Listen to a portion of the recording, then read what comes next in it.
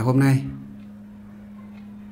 À, chúng tôi à, sẽ giảng về à, bộ à, quán âm tam thời hệ niệm pháp sự toàn tập.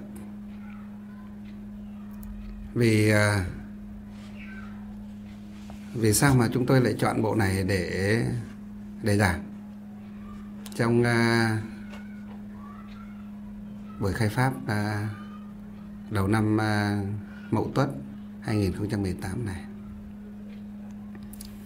À, vì chúng ta biết à, bắt đầu từ năm à, 2017, cuối 2016 và đầu 2017 cũng như chọn năm 2017 và cho đến nay thì à, ngoài pháp hội Trung Phong Tam Thể Niệm đạo tràng Tịnh Tông Hội Việt Nam của chúng ta còn có một cái pháp hội rất là quan trọng đó là pháp hội quán âm tam thể niệm.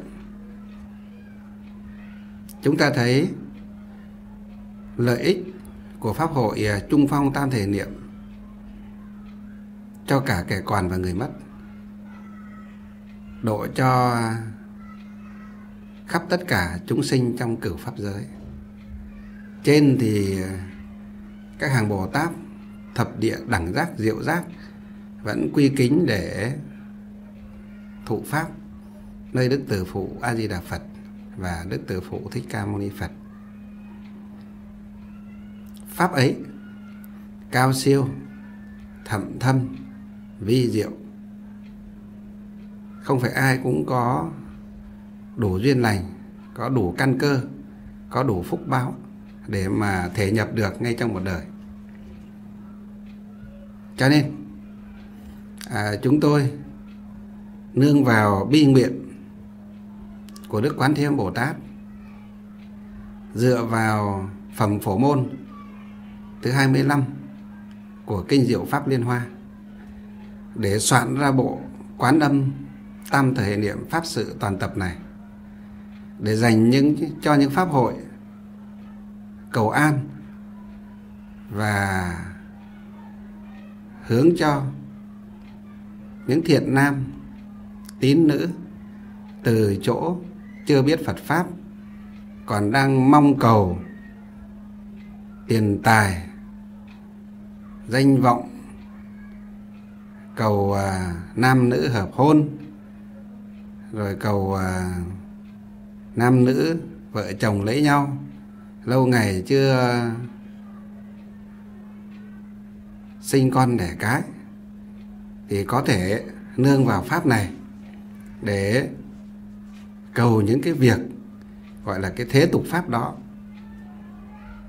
Từ cái thế tục pháp đó dần dần dẫn dắt cho những thiện nam tín nữ ấy, ấy đi vào đạo. Biết được cái giá trị đích thực của Phật pháp đó là cầu giải thoát và giác ngộ. Chúng ta biết là giáo lý của Đức Phật dành để cho tu tâm dưỡng tính bỏ ác, làm lành, lánh giữ, hành thiện. Rốt ráo là tiến tới đạo quả vô thượng bồ đề. Tu tập, sớm thành tựu được cái hạnh nguyện của mình, đó là thành Phật để phổ độ chúng sinh. Nhưng không phải á, ai chúng ta đến chùa lần đầu tiên cũng có thể biết và cầu đạo quả vô thượng chính đẳng chính giác. Nhiều năm, hầu Phật ở trong chùa xuất gia hành đạo, hoàng pháp ở trong chùa. Chúng tôi mới thấy rằng, nhận ra rằng, người đời thời nay, đại đa số đến chùa là gì? Là cầu xin tiền tài danh vọng của cải quan tước, cầu bình an, cầu sức khỏe rồi cầu à, nam nữ hợp hôn cầu à, à, sinh con cái vân vân. Nói chung là gì? Họ thích cầu những cái phúc báo của thế gian.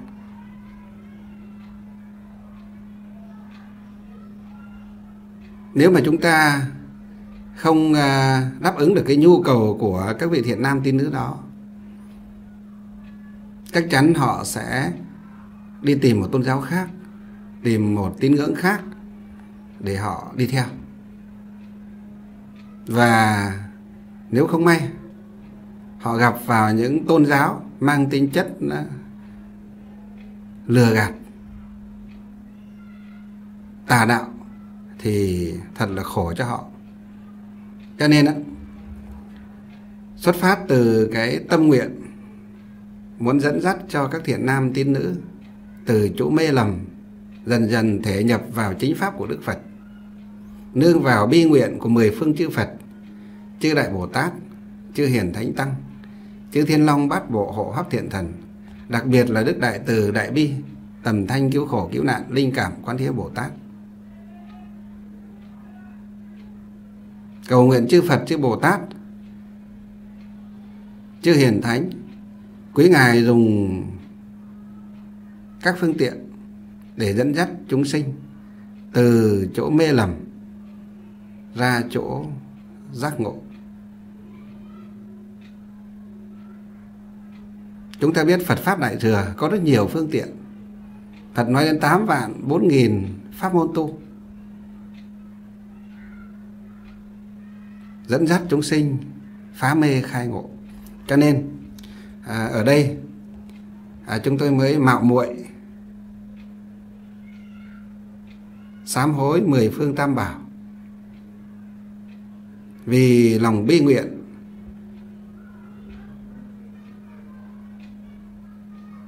vì noi theo cái lòng bi nguyện của Đức Quán Thiên Bồ Tát, Đức Địa Tạng Vương Bồ Tát muốn cho tất cả chúng sinh dần dần đều được phá mê khai ngộ. Cho nên á, nương vào cái phẩm phổ môn này soạn ra cái bộ quan âm tam thể niệm này. Và từ khi soạn ra, pháp hội đầu tiên được tổ chức vào tháng 9 năm 2016 à,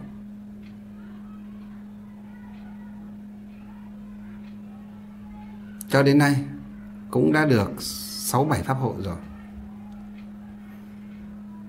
Ngày đầu tiên tổ chức pháp hội này chúng tôi nghĩ rằng pháp hội này chỉ cần được khoảng 500 người đến 1.000 người tham dự pháp hội. Đó là sự thành công.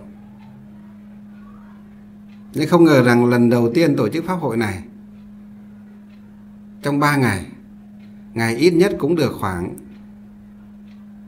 3.000 Phật tử tham dự. Và ngày đông nhất cũng là khoảng gần 5.000 Phật tử tham dự. Ngoài sức tưởng tượng và vượt ngoài cái mong ước của chúng tôi. Và sang pháp hội lần thứ hai, đó là pháp hội tháng riêng năm 2017 vừa qua. Ngày ít nhất cũng 7 8 ngàn người và ngày đông nhất cũng 12 13 ngàn người. Và cái sự thành tựu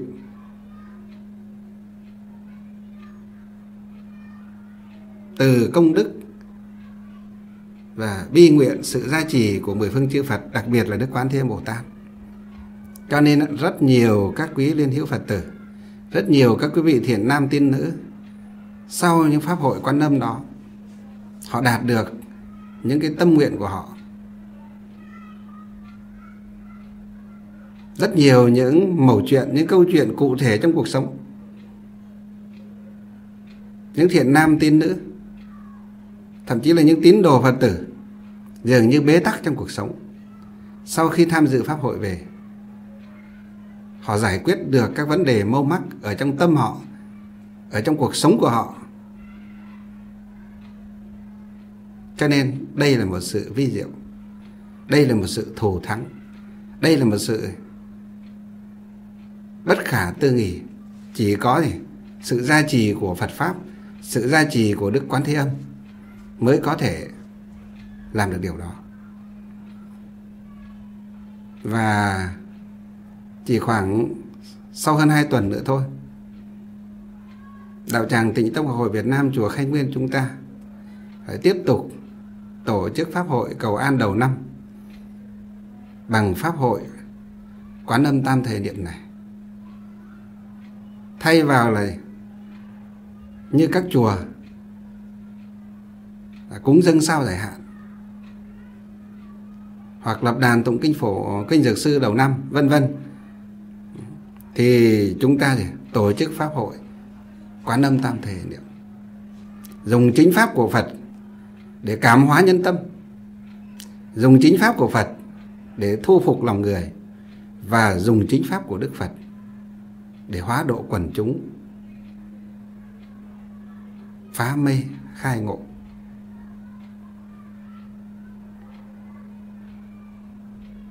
Nhưng để cho các quý vị phật tử và các quý thiện nam tín nữ hiểu được phần nào đó về pháp hội này.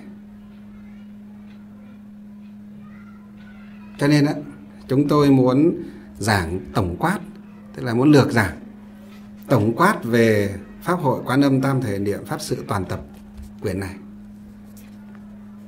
À, quyển này thì các quý vị ngoài đạo tràng tịnh tông hội Việt Nam của chùa Khai Nguyên ở Việt Nam ra, hay là trong hệ thống đạo tràng tịnh tông hội Việt Nam, các quý vị không tìm được ở đâu ở trong tam tạng thánh điển. Không tìm được ở đâu ở trong hệ thống kinh sách ở của Phật giáo trên thế giới. Vì bộ này là gì? Chúng tôi nương vào cái phẩm phổ môn để hội tập thành. Hay nói như ngoài đời gọi là soạn ra cái nghi thức này, cái khóa lễ này. Chứ không phải là sẵn có ở trong gì, ở trong tam tạng thánh điển trước đây.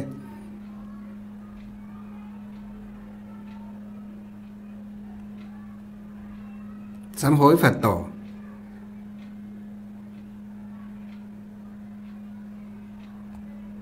Không phải là chúng con ấy, giỏi giang hơn các tổ ngày xưa.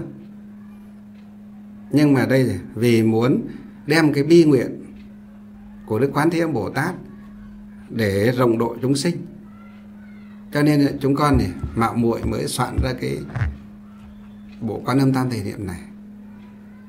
À, thưa với các quý vị trước khi soạn cái bộ này chúng tôi cũng đã thắp hương lễ Phật và phát nguyện đối trước thánh dung của chư Phật, chư đại Bồ Tát, đặc biệt là Đức Quán Thế Âm, để cầu xin ngài gia trì cho, khai thị cho, mở mang trí tuệ cho, để hội tập được cái bộ quan âm tam thể niệm này. Cho nên hôm nay thì à, để cho các phật tử chúng ta à, biết được cái phần đại cương của cái bộ à, quan âm tam thể niệm này à, chúng tôi sẽ giảng à, đại cương về cái à, bộ này. À, chúng ta thấy và cái bộ à, vì sao lại lại lấy nhan đề là quán âm? Tam thể niệm pháp sự toàn tập.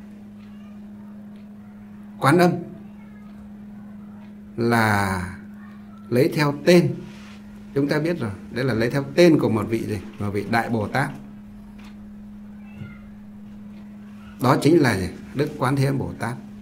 Đức đại từ, đại bi, tầm thanh, cứu khổ, cứu nạn, linh cảm, quán thế âm bồ tát. Ngài chính là một vị đại sĩ một vị đại bồ tát, một vị đại đệ tử của đức tử phụ a di đà phật ở tây phương cực lạc thế giới.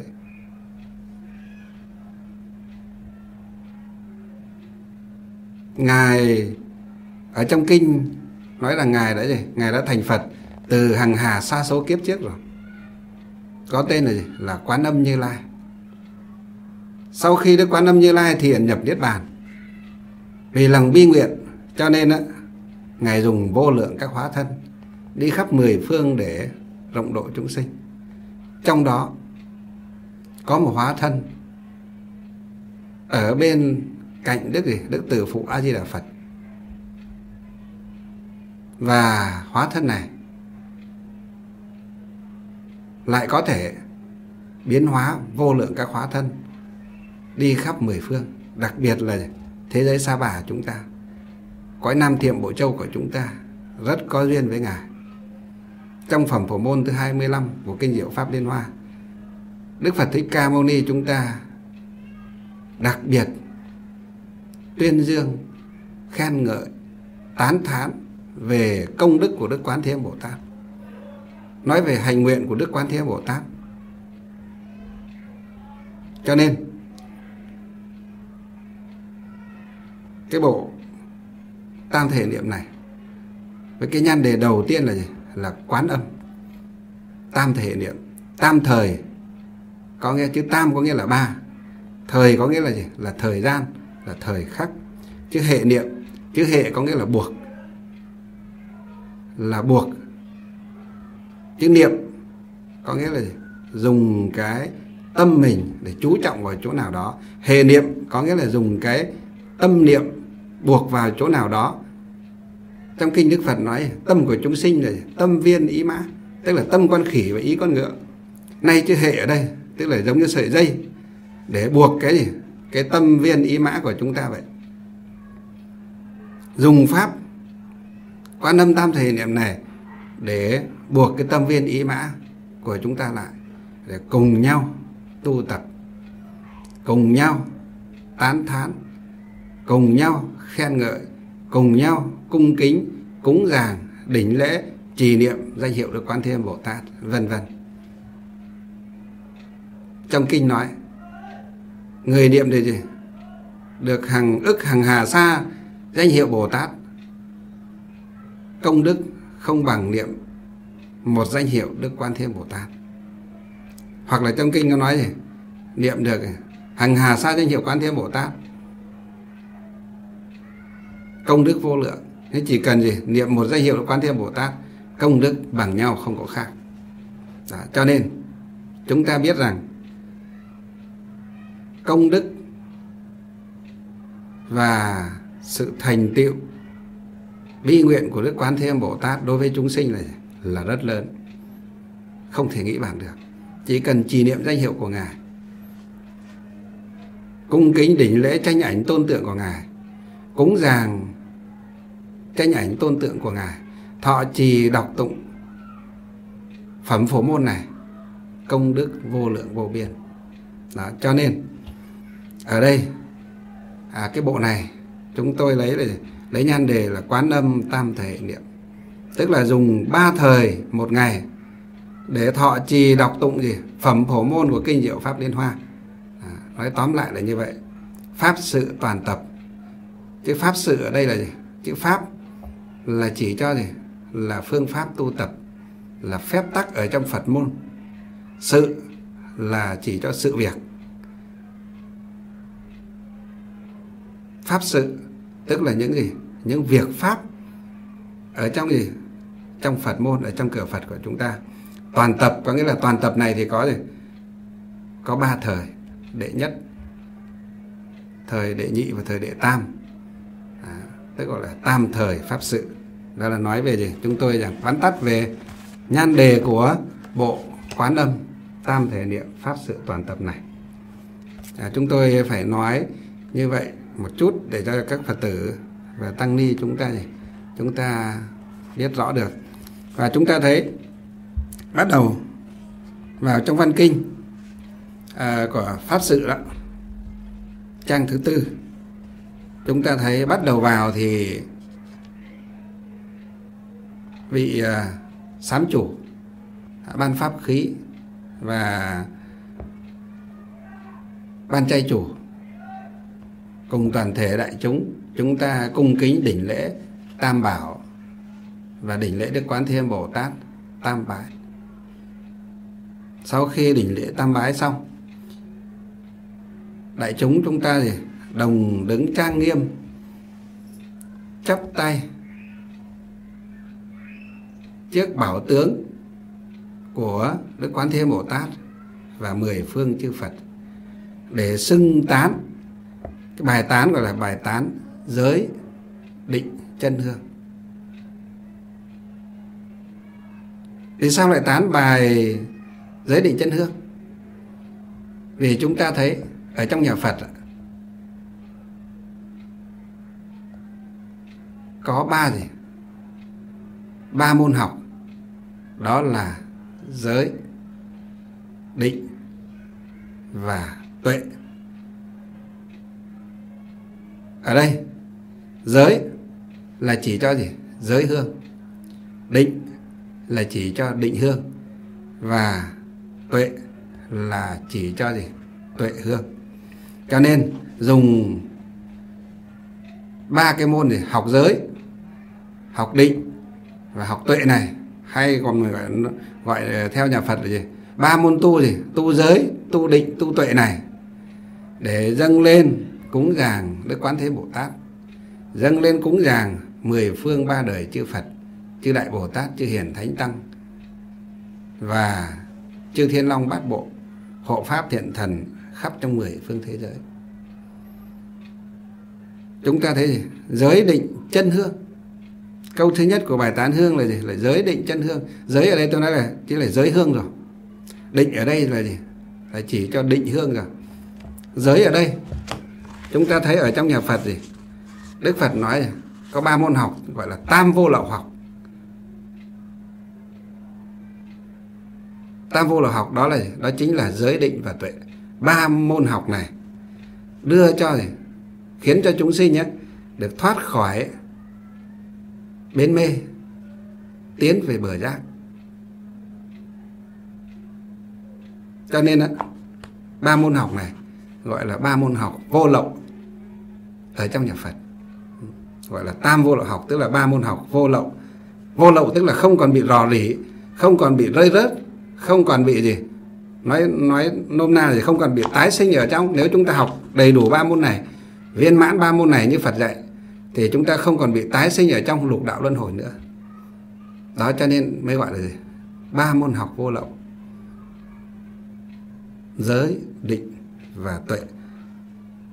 Ở trong nhà Phật chúng ta thấy nhân giữa giới mà sinh định nhân tâm định mà mà phát tuệ.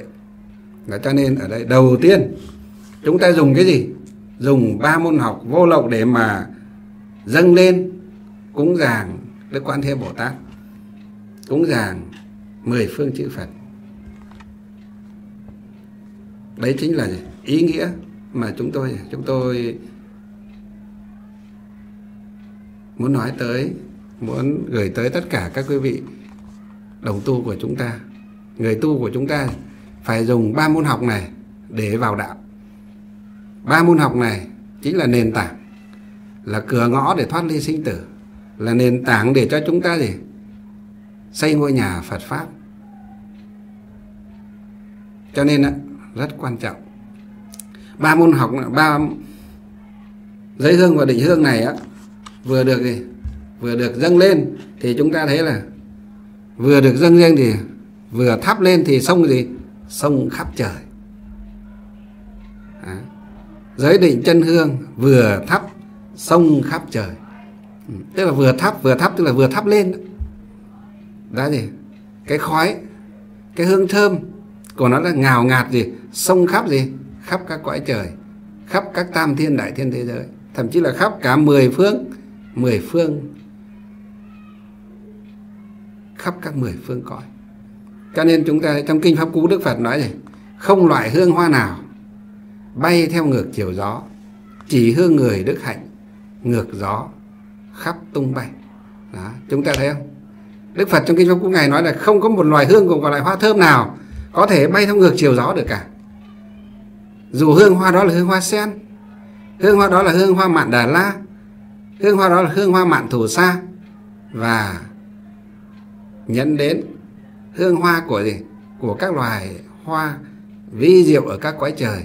Nhưng cũng chỉ ở trong một cái khu vực nhất định nào đó và chỉ có thể bay xuôi theo chiều gió hương thơm không thể bay ngược theo chiều gió. Nhưng đức phật nói là chỉ có hương người, đức hạnh. Hương người, đức hạnh là sao? Tức là người gì?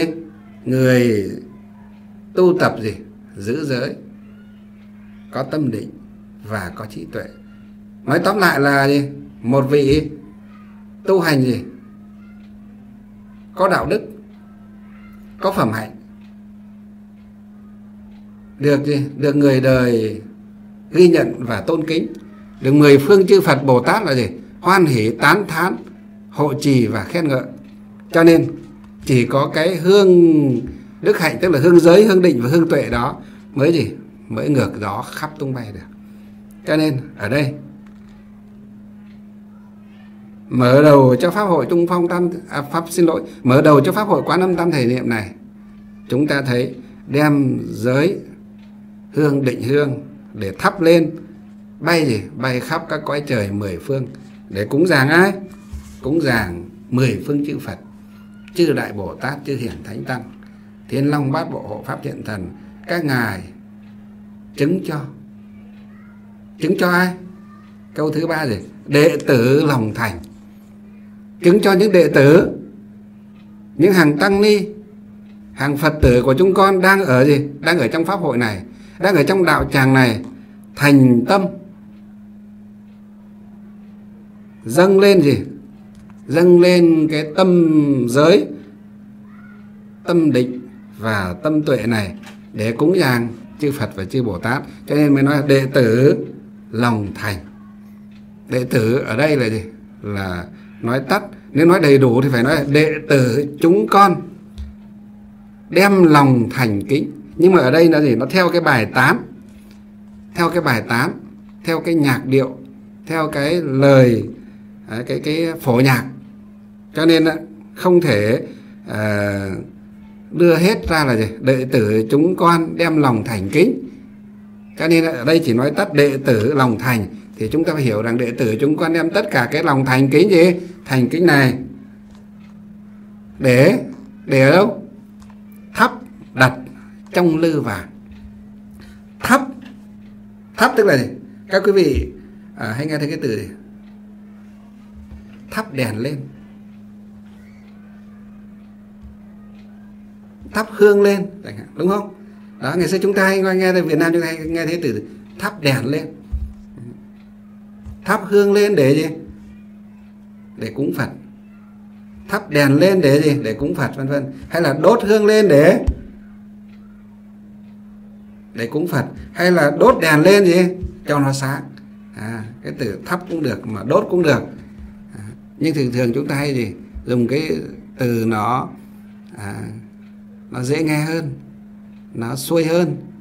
Đó là trừ từ thắp à, từ thắp. Thắp thì đặt ở đâu? Đặt ở trong lư vàng. Lư vàng ở đây nói nghĩa đen thì là cái cái gì dùng cái nghĩa đen á, tức là chúng ta dùng cái hương trầm hương ở bên ngoài. Chúng ta thắp, chúng ta để vào trong cái lư gì? Cái lư bằng đồng đó, có màu vàng đó, gọi lư vàng. Nhưng ở đây, cái lư nếu nó nói bằng gì? Bằng nghĩa bóng ở đây. Lư ở đây là gì? Cái lư này ở trong gì? Trong tâm của chúng ta. Cái lư vàng chính là gì? Trong a lại gia thức của chúng ta. Chúng ta thấy, trong kinh đức phật nói, mỗi chúng sinh thì có bát thức tâm vương và 51 thức tâm sở bát thức tâm vương thì nhãn nhĩ tị thiệt thân ý mặt na. A lại ra tám thức tâm vương. Thì cái thức thứ tám, a lại ra thức còn gọi là gì? Là chủng tử thức. Hay còn gọi là gì? Tàng thức. Nó chính là cái kho. Cái kho. Cái kho đó, cái kho tâm đó là chất chứa tất cả các chủng tử thiện và ác. Và nay chúng ta đối trước tam bảo, thánh dung, mười phương chư phật và đức quán thế bồ tát, diệt trừ đi tất cả những nghiệp chướng xấu ác. Từ vô thủy chúng ta gieo trồng, hướng tới cái thiện, lấy tất cả những cái gì? Cái tâm thiện ra, gột rửa những cái gì? Những cái xấu để cho nó trong sạch, thành những cái gì? Cái tốt đẹp, cái thiện lành. Cho nên, cái tàng thức của chúng ta bây giờ được ví như là gì?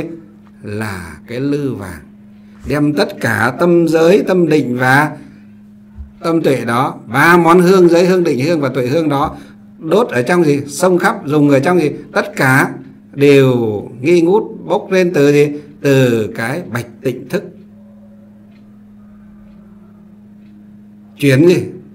Bát thức tâm vương thành tiền ngũ trí. Đó. Cho nên chuyển thành rồi thì cái thức đó cái a lại gia thức đó chính là gì? Cái lư vàng vậy. Đựng tất cả những gì? Những chủng tử thiện lành, tốt đẹp, do giới định tuệ, giải thoát và giải thoát trí kiến, huân tập, hôn đúc thành vậy. Cho nên ở đây mới nói là thắp đặt ở trong lư lư vàng, liền gì? Liền tỏa cuồn cuộn biến khắp mười phương. À, chúng ta thấy nếu mà chỉ là một cái gì? Một cái nén hương. Chúng ta thắp bằng cái nén hương trầm mà chúng ta thắp đó làm gì cái khói của nó có thể cuồn cuộn tỏa khắp mười phương? Xin thưa các quý vị cái đạo tràng cái nhà pháp hội chùa khai nguyên tuy lớn nhưng cũng chỉ khoảng mới khoảng trên 2.000 mét vuông. Thắp cả cái lư hương đó khói quản gì người đứng ở dưới cuối pháp hội còn chẳng nhìn thấy khói hương bay lên là. Người đứng ở những bàn đầu những hàng đầu thì còn thấy cái khói hương bay lên. Những người từ hàng giữa thì thấy mờ mờ còn những người ở hàng cuối cách xa hàng gì năm sáu mươi mét thì không nhìn thấy khói hương đâu nữa là. Cho nên á, nếu mà nói là dùng cái gì? Cái nén hương bằng bằng bột bằng các loại bột thơm ở thế gian chúng ta nhào nặn lên đó thì chưa đủ chưa viên mãn và chưa đúng với tinh thần ở trong bài bài tán giới định chân hương này. Cho nên ở đây phải là hương gì? Hương tâm, hương giới, hương định và hương tuệ đó thắp lên ở trong lư vàng tàng thức a lại ra của chúng ta thì cái khói cái khói thơm đó mới ngào ngạt, bay được gì? Bay đầy khắp mười phương thế giới. Để làm gì? Để cúng dường. Chư Phật, chư Bồ Tát vậy rồi câu tiếp theo chúng ta là xưa bà Gia Du thoát nạn tiêu tai chướng. À, bà Gia Du Đà La xưa kia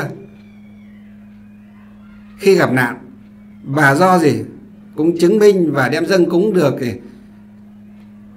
ba cái món hương này giới định và tuệ hương này. Cho nên á, bà thoát khỏi cái nạn, nạn gì? Cái nạn lửa. À, miễn nạn tiêu tai chướng mà. Xưa bà gia dụ ở đây là nói về cái tích tích nói này trong cái tích này được kể ở trong ờ, uh, quyền uh, ờ, sa di uh, luật nghi yếu lược tăng chú. Mà ngày xưa chúng tôi còn bé bé mới xuất ra đi học có được học cái quyển cái câu chuyện này. À, câu chuyện trong sa di luật nghi yếu lược tăng chú hay sa di luật nghi yếu giải hay là sa di luật nghi lược giải đó đều có nói rất rõ về câu chuyện là bà Gia Du Đà La tức là vợ của ai? Vợ của thái tử Tất Đạt Đa. Chúng ta biết thái tử Tất Đạt Đa khi chưa xuất ra thành Phật đó, ngài có kết hôn với một cô công chúa. Công chúa vị cô công chúa đó chính là gì? là Gia Du Đà La. Chúng ta biết là thái tử Tất Đạt Đa kết bị vua cha tỷ phạn và hoàng hậu à, tức là mẹ nuôi Mahabasa Ba Đề ép ngài kết hôn với cô công chúa nước Lân Bang là Gia Du Đà La, năm 16 tuổi. Chung sống với nhau 3 năm. Đến năm 19 tuổi thì La Hậu La ra đời. Khi đó thì Thái tử Tất Đa Đa mới vượt thành xuất gia. Nhưng hôm nay chúng tôi phải dẫn dụ để giải thích cái câu gia du đà la miễn nạn tiêu tay chướng này cho chúng ta nghe. Đó là ở trong quyển pháp hoa huyền tán của ngài khuy cơ. Quyển này rất ít lưu hành.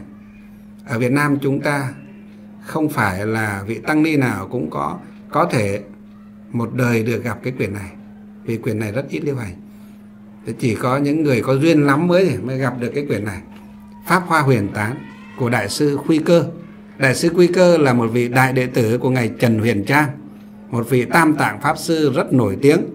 Mà chúng ta gì có lẽ người phật tử nào cũng biết tới ngài với gì? Với câu chuyện gì? Tây du ký, đường tăng đi thỉnh kinh ở thời nhà đường bên trung quốc. Đó. ngài tam tạng pháp sư trần huyền trang đã có một vị đại đệ tử rất thông minh, rất giỏi, cũng được gọi là tam tạng pháp sư, hay còn gọi là đại sư khuy cơ ngài có viết một cái, giải thích một cái quyển bộ luận, gọi là luận pháp hoa huyền tán giải thích kinh diệu pháp liên hoa. Ngài nói rằng, khi mà thái tử tất đạt đa xuất ra cái người con mà thái tử nhìn vào á, bên cạnh gia du đà la để xuất ra đó, không phải là la hầu la mà đó chính là gì? Là một vị sau này cũng xuất ra theo phật, đó chính là thiện tinh tỷ khiêu. Đó chính là thiện tinh tỷ khiêu. Và la hầu la, sau khi mà thái tử tất đạt đa sinh la hầu, sinh thiện tinh rồi á, thì ngài còn ở lại kinh thành một thời gian ngắn nữa và cái thời gian đó. Thì chúng ta biết thì lúc đó ngài là thái tử, thì vợ chồng chung sống với nhau, đó là chuyện bình thường, không có phạm pháp, không có gì cả. Đó. cái việc ngài vợ chồng được vua cha đôi bên là gì? Cưới gả hẳn hoi.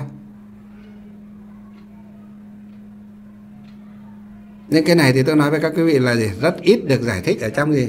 Ở trong tam tạng thánh điển. Có thể là một cái lý do tế nhị nào đó. Nhưng đây là chúng tôi đang giải thích cái chuyện à, gia du đà làm miễn nạn tiêu tay chướng này nó dẫn ở trong gì? Trong sa di lược giải và kinh pháp hoa huyền tán của đại sư khuy cơ để giảng cho chúng ta. Không có chúng ta mới thấy là trong kinh thì nói là ở cái cái cái à, giải thích cái câu gia du đà la miễn nạn tiêu gia chướng này nói nói rằng sau khi thái tử tất đà đa xuất ra 6 năm sau,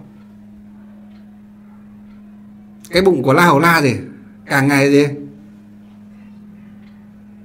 À xin lỗi, cái bụng của gia du đà la càng ngày càng gì? Càng lớn lên. Và mọi người ở trong triều á, thì bắt đầu gì? Có lời ra tiếng vào dị nghị rằng gia du đà la phụ bạc thái tử và đi ngoại tình với một người nào đó. Cho nên á mới tự nhiên, thái tử xuất ra đã năm sáu năm rồi thì cái bụng của gia du đà la càng ngày càng to lên. Cho nên á, câu chuyện thị phi theo dệt ở khắp ở trong kinh thành ca tỷ la vệ. Gia du đà la rất là buồn, nhưng không biết gì. Thổ lộ cùng ai? Phu quân chồng của mình thì đã đi xuất ra biển biệt mấy năm, không tin tức gì. Ở nhà thì mình như vậy không biết, nói ba. Rồi khi đó thì lúc đầu á thì vua cha và mẫu hậu thương, cảm thông và chia sẻ. Nhưng gia du đà la cũng không thể tỏ được cái nỗi lòng đó với ai. Các quan trong triều thì càng ngày càng gì? Càng lấn tới và ép quốc vương là tịnh phạn và mẫu hậu là ma ba xả ba đề phải xử lý cái vụ này. À, thì khi đó này gia du đà la nguyện là gì? Nếu mà đúng là đứa con ở trong bụng của gì? Của con. Nói với phụ vương và mẫu hậu của mình như vậy nếu đứa con này ở trong bụng của con chính là con của thái tử tất đạt đa thì nguyện rằng gì? Vua cha cứ làm một cái dàn làm một cái dàn lửa lên con sẽ nhảy vào trong cái lò lửa đó. Nếu mà lửa gì? Lửa cháy chết, thiêu chết con, thì đồng nghĩa là đứa con trong bụng là gì? Không phải là con của thái tử tất đạt đa. Không phải là cháu nội của ngài. Không còn cách nào khác. Tịnh phạn vương và ma ba xả ba đề cùng triều đình đều phải làm theo cách đó. Vì một số những người lợi dụng vào cái việc đó muốn chia rẽ nội bộ gia đình của hoàng tộc, cho nên họ rất là gì? Họ dùng cái cái lời thị phi đó để gán ghép cũng như là để bắt ép tịnh phạn vương là phải xử lý. Và một hôm tịnh phạn vương thì cùng với cả triều đình làm một cái đàn, một cái đàn lửa rất là lớn và đem ra du đà la đứng lên trên gì, trên cái cái cái ờ, thành đàn đó. Và khi mà lửa được đốt cháy lên, rất to thì ra du đà la đứng ở trên miệng thành đàn và phát nguyện rằng, ngửa mặt lên trời mà phát nguyện rằng nếu đứa con trong bụng của tôi này thực sự là con của thái tử đất đa, nguyện tôi nhảy vào lửa gì?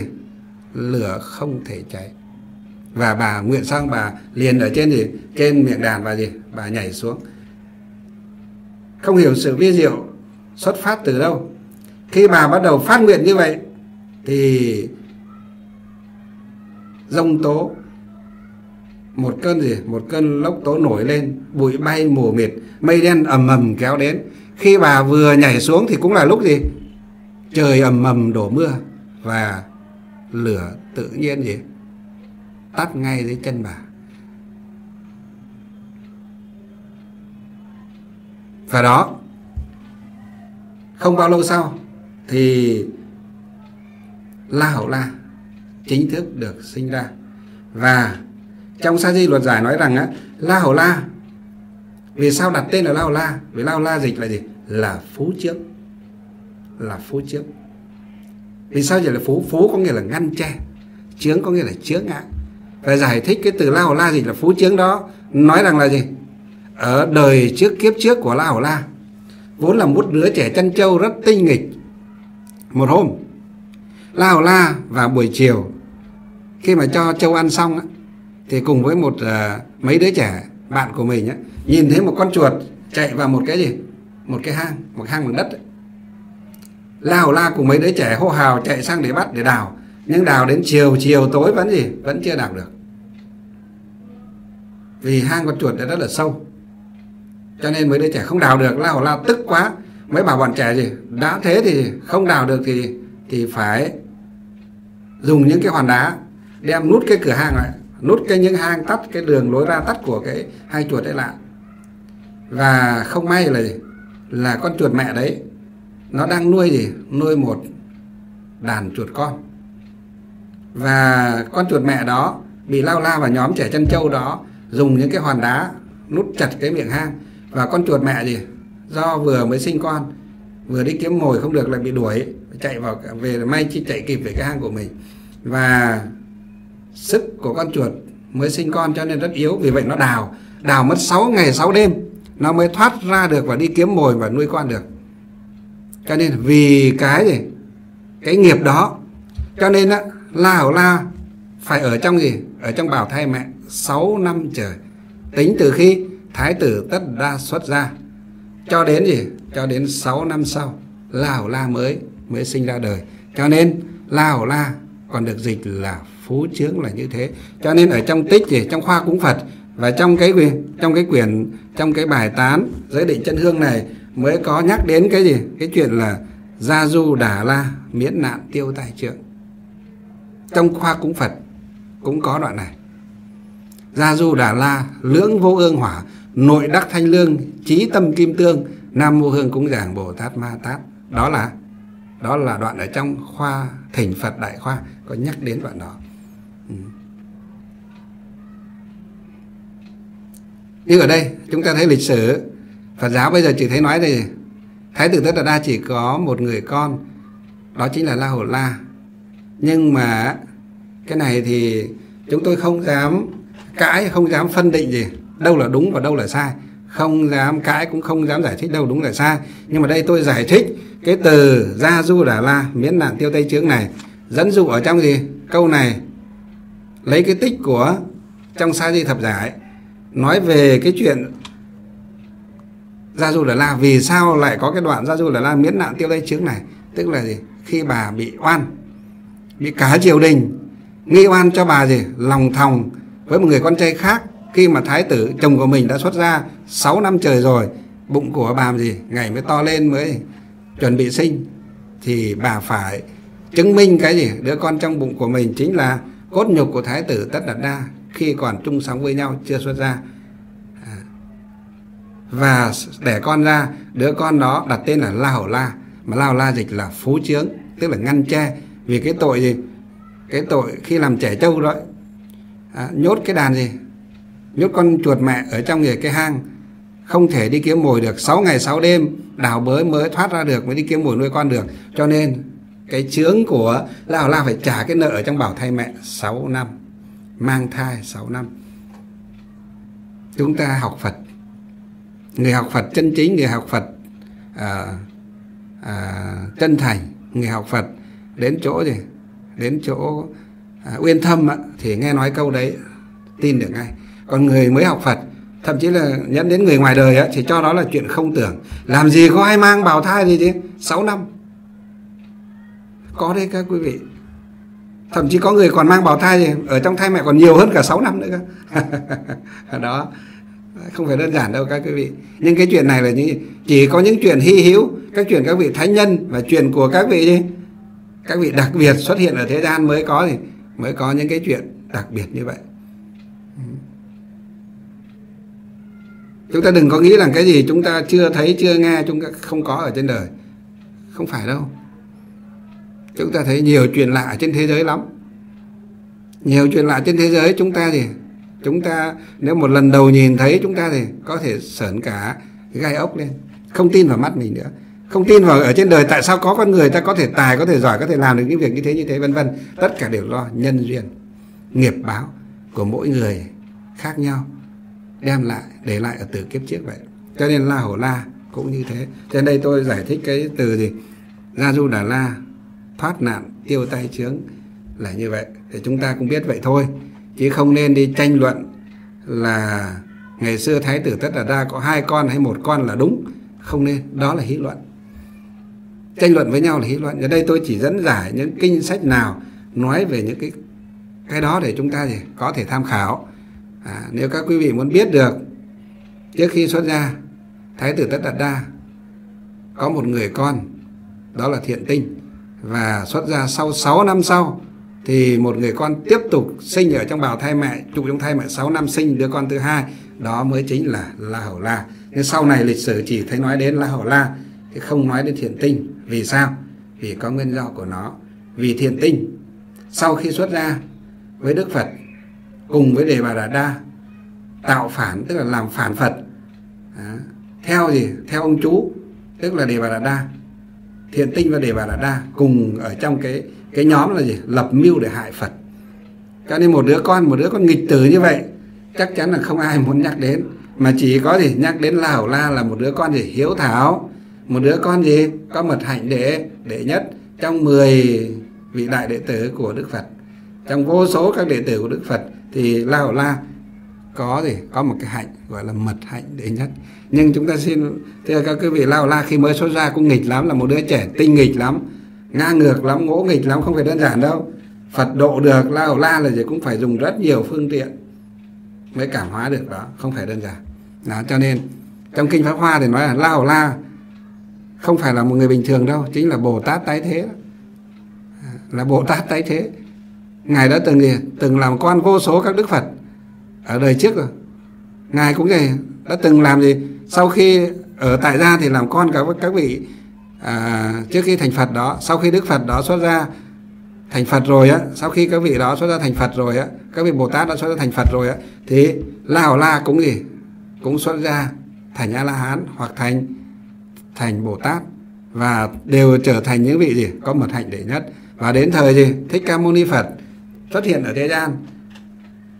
Thì Lào La cũng đóng một cái vai là người gì người mật hạnh đệ nhất. Đây gì như ở ngoài đời chúng ta gọi là một cái tấm tuồng, một cái vở kịch, một cái màn sân khấu của gì, của Phật và Bồ Tát, Thánh Tăng gì, biểu diễn cho chúng ta xem.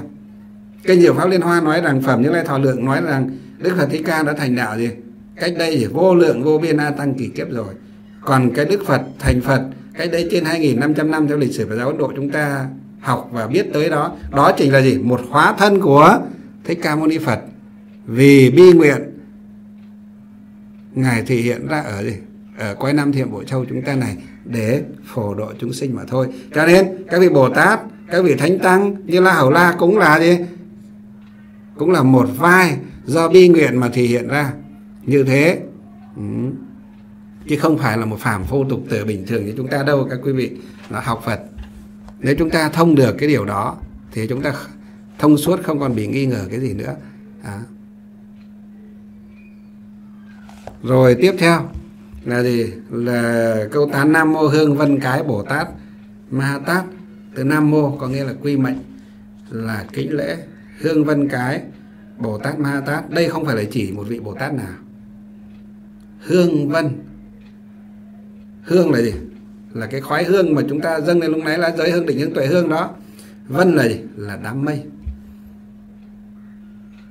Đám mây gì? Giới mây định và mây tuệ đó. Chữ cái cái có nghĩa chữ cái có nghĩa là gì? cái tán cái lọng. À, như đám mây gì? Như đám mây quý.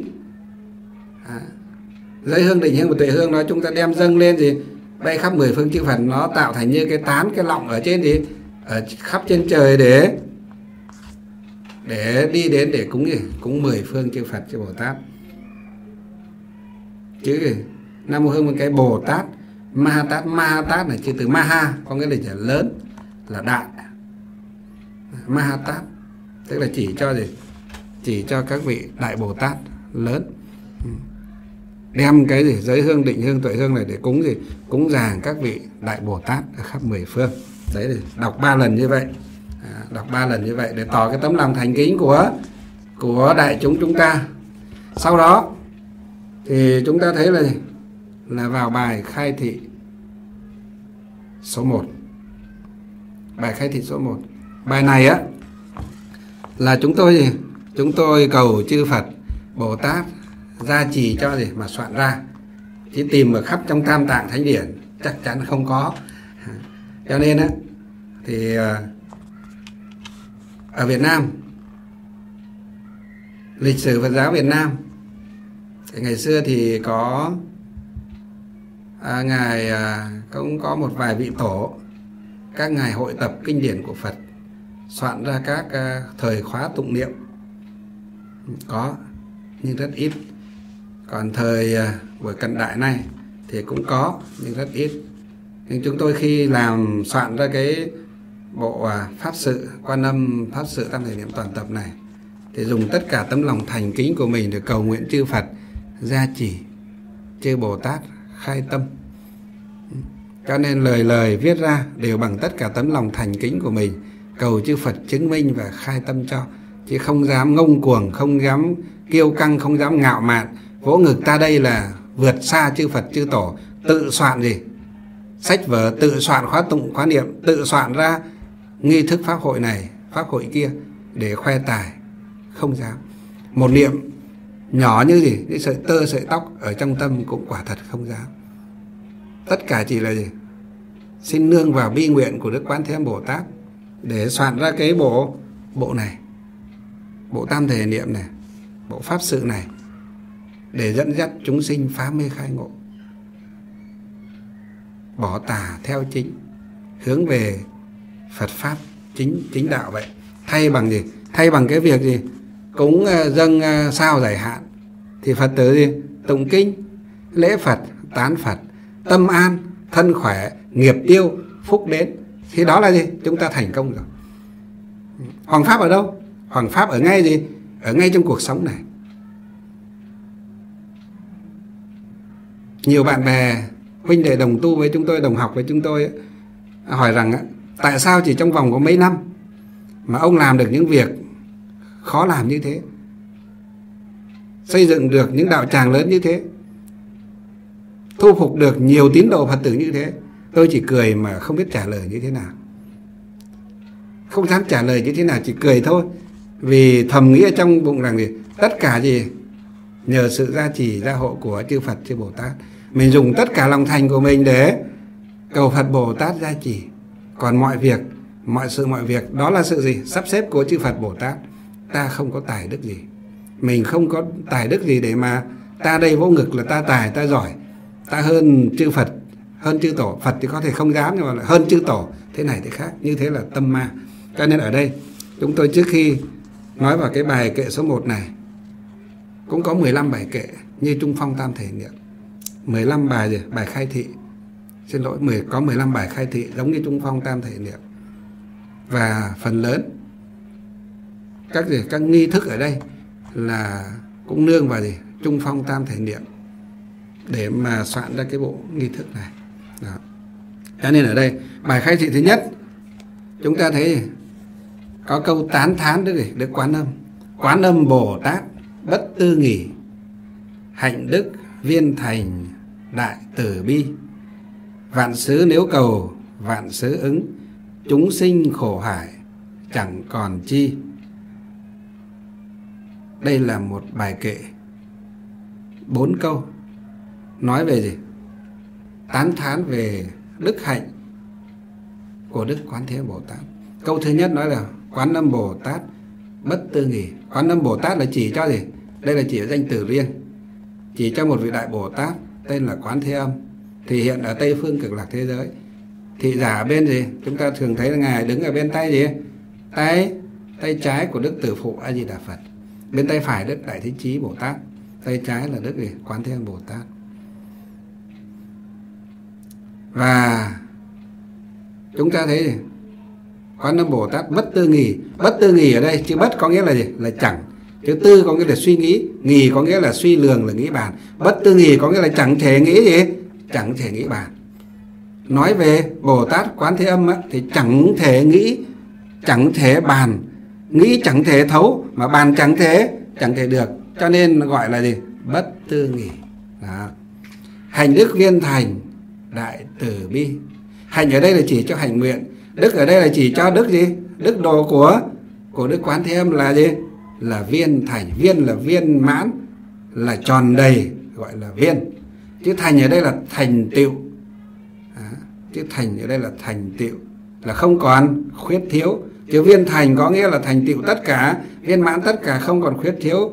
Khuyết thiếu cái gì?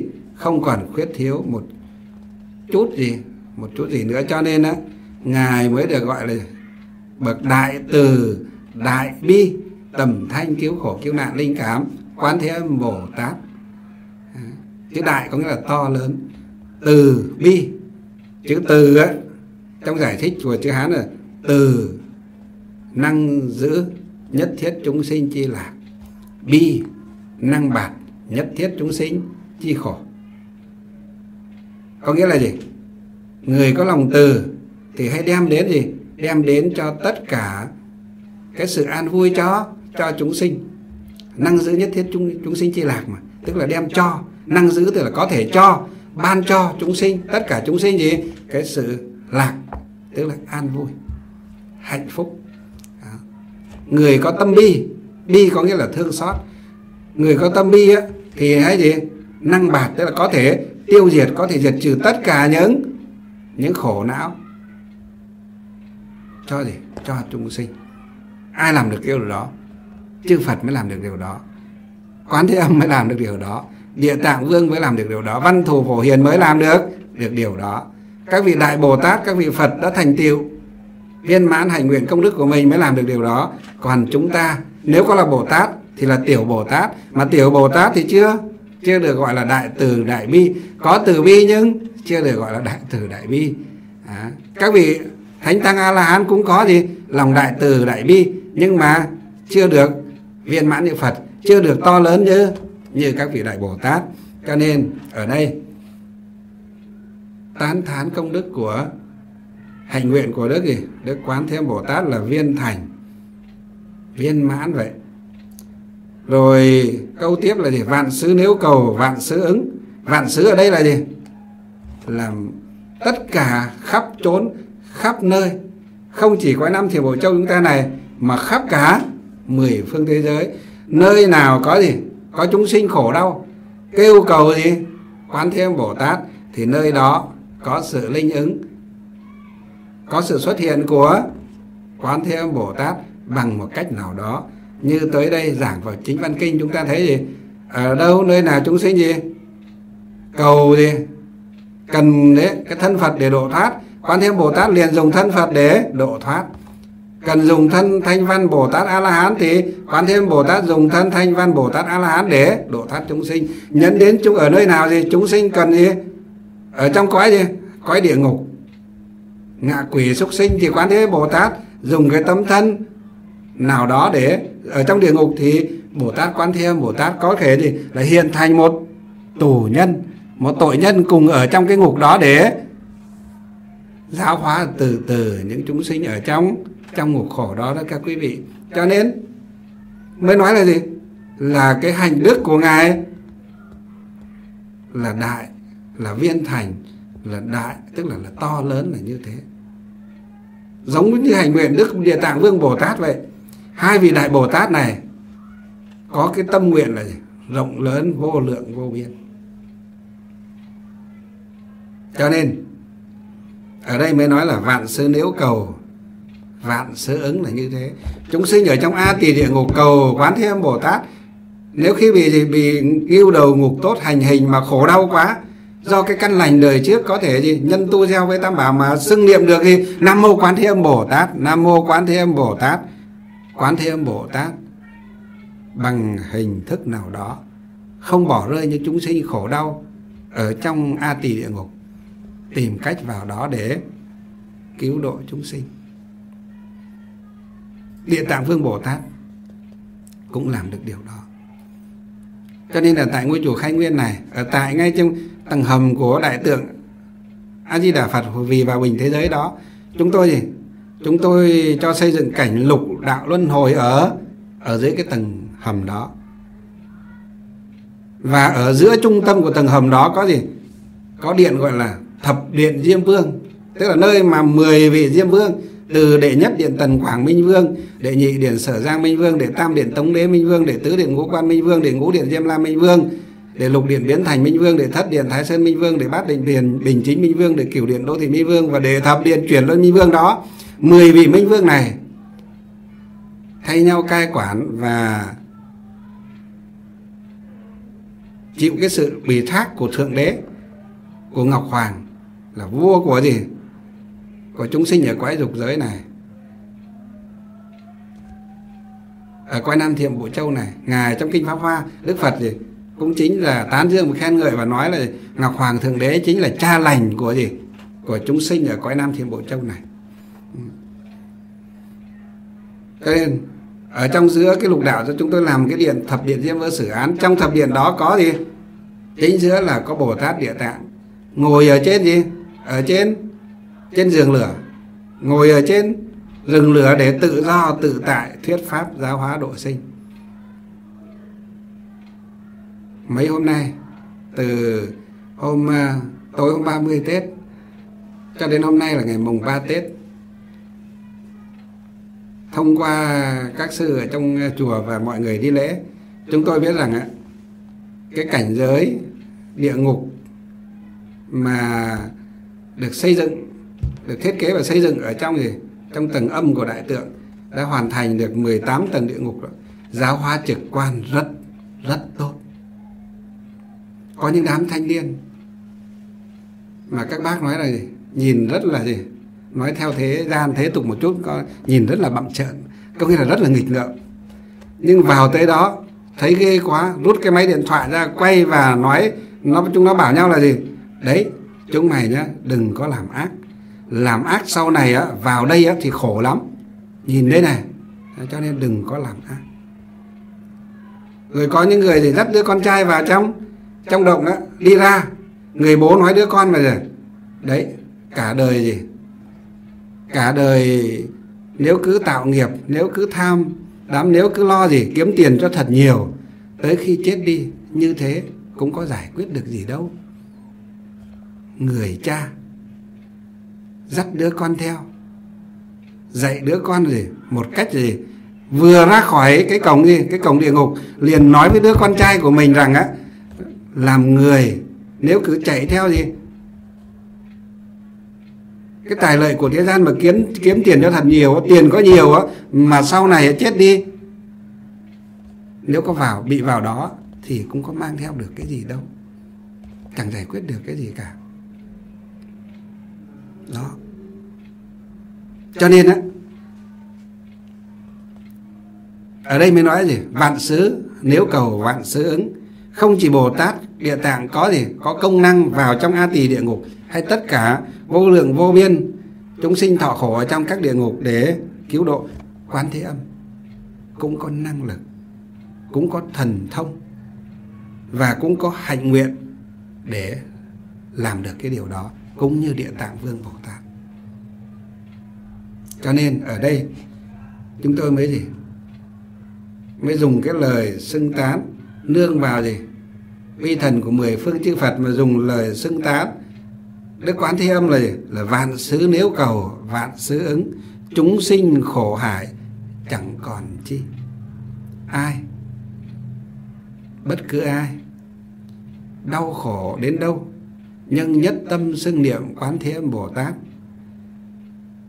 Được quán thế âm bồ tát hiện ra trước mắt để độ, thì người đó đều thoát đi, thoát khỏi tất cả những nỗi những nỗi khổ ở thế gian.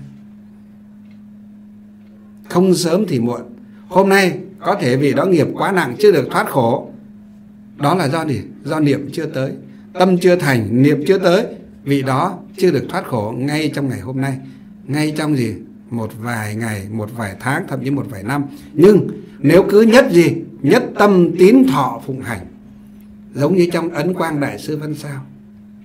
Có kể một câu chuyện nói rằng xưa kia bên trung quốc có một gã ăn mày lang thang đi ngoài đường ăn xin ăn mày khắp đầu đường xó chợ. Nhưng á, cái ăn cái ăn mày này á, vì nó hôi thối nó bẩn thỉu do gì nó què quạt không đi làm cái gì được đi lết la lết lết ở dưới gì? Dưới mặt đất. Cho nên á, gặp trời nắng đâu vậy trời mưa thì anh ta vẫn phải lết ở dưới gì? Dưới bùn đất. Cho nên á anh ta bẩn thỉu hôi thối vô cùng. Đi đến đâu người ta cũng đuổi đi người ta cũng gì? Cũng nguyền rủa và người ta gì? Xua đuổi đánh đập cho. Cho nên á, xin ăn không được. Anh ta đau khổ muốn gì? Muốn tự vấn để cái liễu đời cuộc sống của mình anh ta nghĩ rằng người ta cũng làm người. Tại sao người ta đầy đủ chân tay, đầy đủ sức khỏe và đầy đủ trí tuệ, đầy đủ công đức mà làm ăn như thế? Còn anh ta chỉ muốn rằng có đầy một chút sức khỏe, anh ta có thể tự đôi chân mình bước lên để đi và dùng đôi tay của mình để làm và không phải đi ngửa ngửa nón ăn xin nữa. Nhưng mà không được.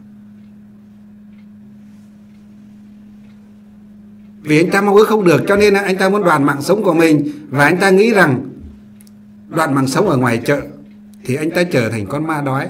Cho nên anh ta gì lê lết đến trước cửa một ngôi chùa và anh ta định đoạn mạng sống của mình. Anh ta nghĩ là đêm hôm hôm hôm đó anh ta, đêm, một đêm hôm, và một đêm hôm đó anh ta sẽ gì? Sẽ đoạn mạng sống.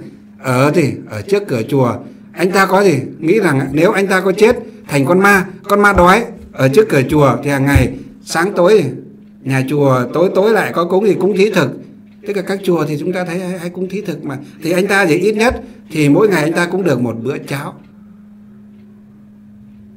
Cũng gì? Cũng con ma cũng đỡ khổ hơn là kiếp người này. Làm ma đói còn đỡ khổ hơn vì ma đói còn mỗi một ngày buổi chiều tối được còn nhà chùa cúng cháo anh ta còn được bát cháo. Còn làm người anh ta không được cái gì cả. Vào chùa xin thì anh ta không dám. Rất may cho anh ta thì cái vị phương trượng trụ trì đó à, đi hoàng pháp về thì thấy anh ta à, nằm lê lết ở trên dưới, dưới, dưới cổng tam quan. Thì hỏi ra anh ta mới gì? Mới tâm sự. Thế vị hòa thượng đó mới nói vậy thì thôi thì ờ, ngươi cứ vào đây đem cái gã ăn mày đó vào chùa. Sai mấy chú tiểu là tắm rửa rồi lấy bộ quần áo nâu cho gì? Cho nó mặc vào. Cho cơm cho nó ăn tắm rửa xong cho cơm nó ăn cắt tóc cắt tay nó đi nhìn cũng đàng hoàng lắm. Có mỗi cái chân nó bị què quạt không đi được thôi. Và mấy hôm sau vì hòa thượng gì à, đi qua và bảo rằng á tại sao mà con lại đến nông nỗi như thế? Vị này kể rằng á ngày xưa khi con sinh ra đã bị như vậy. Vì hòa thượng thì xét thấy đây là cái nghiệp đời trước của nó là gì? Là cái nghiệp do gì ạ? Các vị biết do nghiệp gì không? Vị hòa thượng đó là vị thánh tăng, đã tu chứng đắc được thánh quả rồi, cho nên nhìn thấu rõ là gì? Kiếp trước, nó chính là những đứa trẻ, những đứa trẻ tinh nghịch hay bắt những con gì? Con cua. Và bẻ những cái càng con cua đi. Bắt bắt những con bọ xít. Và bẻ những cái chân, bắt cắt những con chân con bọ xít đi. Và dùng cái chút nhựa đường á, cắm lên cái que diêm và cho cái gì? Cho cái con bọ xít vào đó và gãy gãy cho nó bay và đứa trẻ đó cười. Rồi những cái con gì? Con ếch, con nhái. Đứa trẻ đó bắt và gì? Bẻ cái chân nó đi để cho nó bỏ lê bỏ lết và đứa trẻ đó vui và cười. Do nhân đấy, đời này tuy được làm người nhưng mà bị què quặt, yếu đau, bệnh tật, không nơi nương tựa như vậy.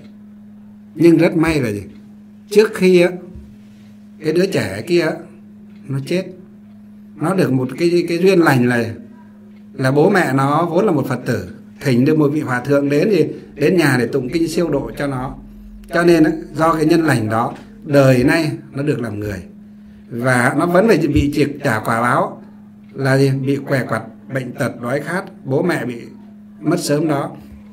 Nhưng đổi lại, khi mà nó gì chuẩn bị nghĩ là gì đêm hôm nay nó sẽ vào chùa để treo cổ tự tử hoặc lấy gì đó để đoạn mạng sống, thì may quá hôm đó vị phương trưởng trụ trì đi hoàng pháp về nhìn thấy nó, ngăn cản nó, hỏi ra mới biết và ngăn cản nó rồi. Tắm rửa cho nó, cắt tóc cho nó, cho quần áo mặc và cho nó ăn no mấy hôm sau. Và hỏi rằng, gọi nó lên và bảo rằng á, vậy thì con có muốn thoát khỏi những gì, những cái khổ sở mà con đang gặp này không? Gã ăn mày kia thì bạch hòa thượng là con thì con rất muốn. Và hòa thượng dạy cho một cái phương pháp, các vị biết phương pháp gì không? Chuyên trì niệm danh hiệu đức quán thiên bồ tát. Vì gã không biết đọc kinh, không biết viết chữ mà. Sinh ra đã gì? Đã làm kẻ ăn, phải đi ăn mày rồi. Cha mẹ mất sớm phải đi ăn mày rồi. Lớn lên một chút, có đi ăn mày rồi, có đâu thời gian đi học. Cho nên một chữ bẻ đôi không biết.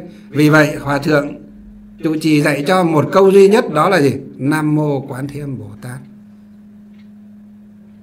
gan mày kia nhất tâm trì niệm sau 3 năm. Một hôm gã mơ thấy gì? Mơ thấy một bà cụ già. Cầm cái gậy chỉ vào chân của gì? Của gã mà hỏi rằng á, tại sao mà ngươi gì không đứng lại đi mà cứ lê lết như thế?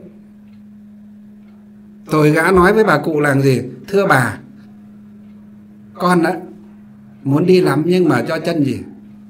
Chân con bị què quặt bẩm sinh không thể đi được. Bà cụ bảo rằng gì? Ngươi cứ đứng dậy đi thử xem. Thì khi đó gã gan mày là một chú tiểu rồi.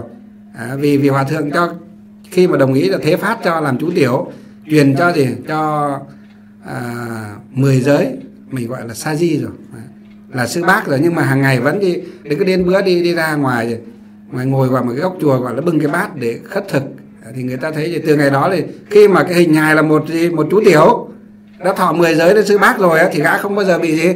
Bị đói nữa. Không bao giờ bị đói nữa. Tức là ngày đã được gì? Đã được bữa cơm no bụng.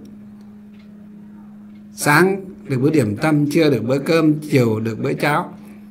Các chữ tăng ngày xưa bên Trung Quốc thì thường thì có thiền viện để ăn à, ăn sáng ăn trưa. Có thiền viện thì chỉ ăn buổi sáng thôi có thiền viện thì tối ăn thêm một bữa gọi là lương dược tức là uống nước thạch mật tức là uống thì đổ cái, cái cháo nấu nhuyễn ra để, để uống vân vân.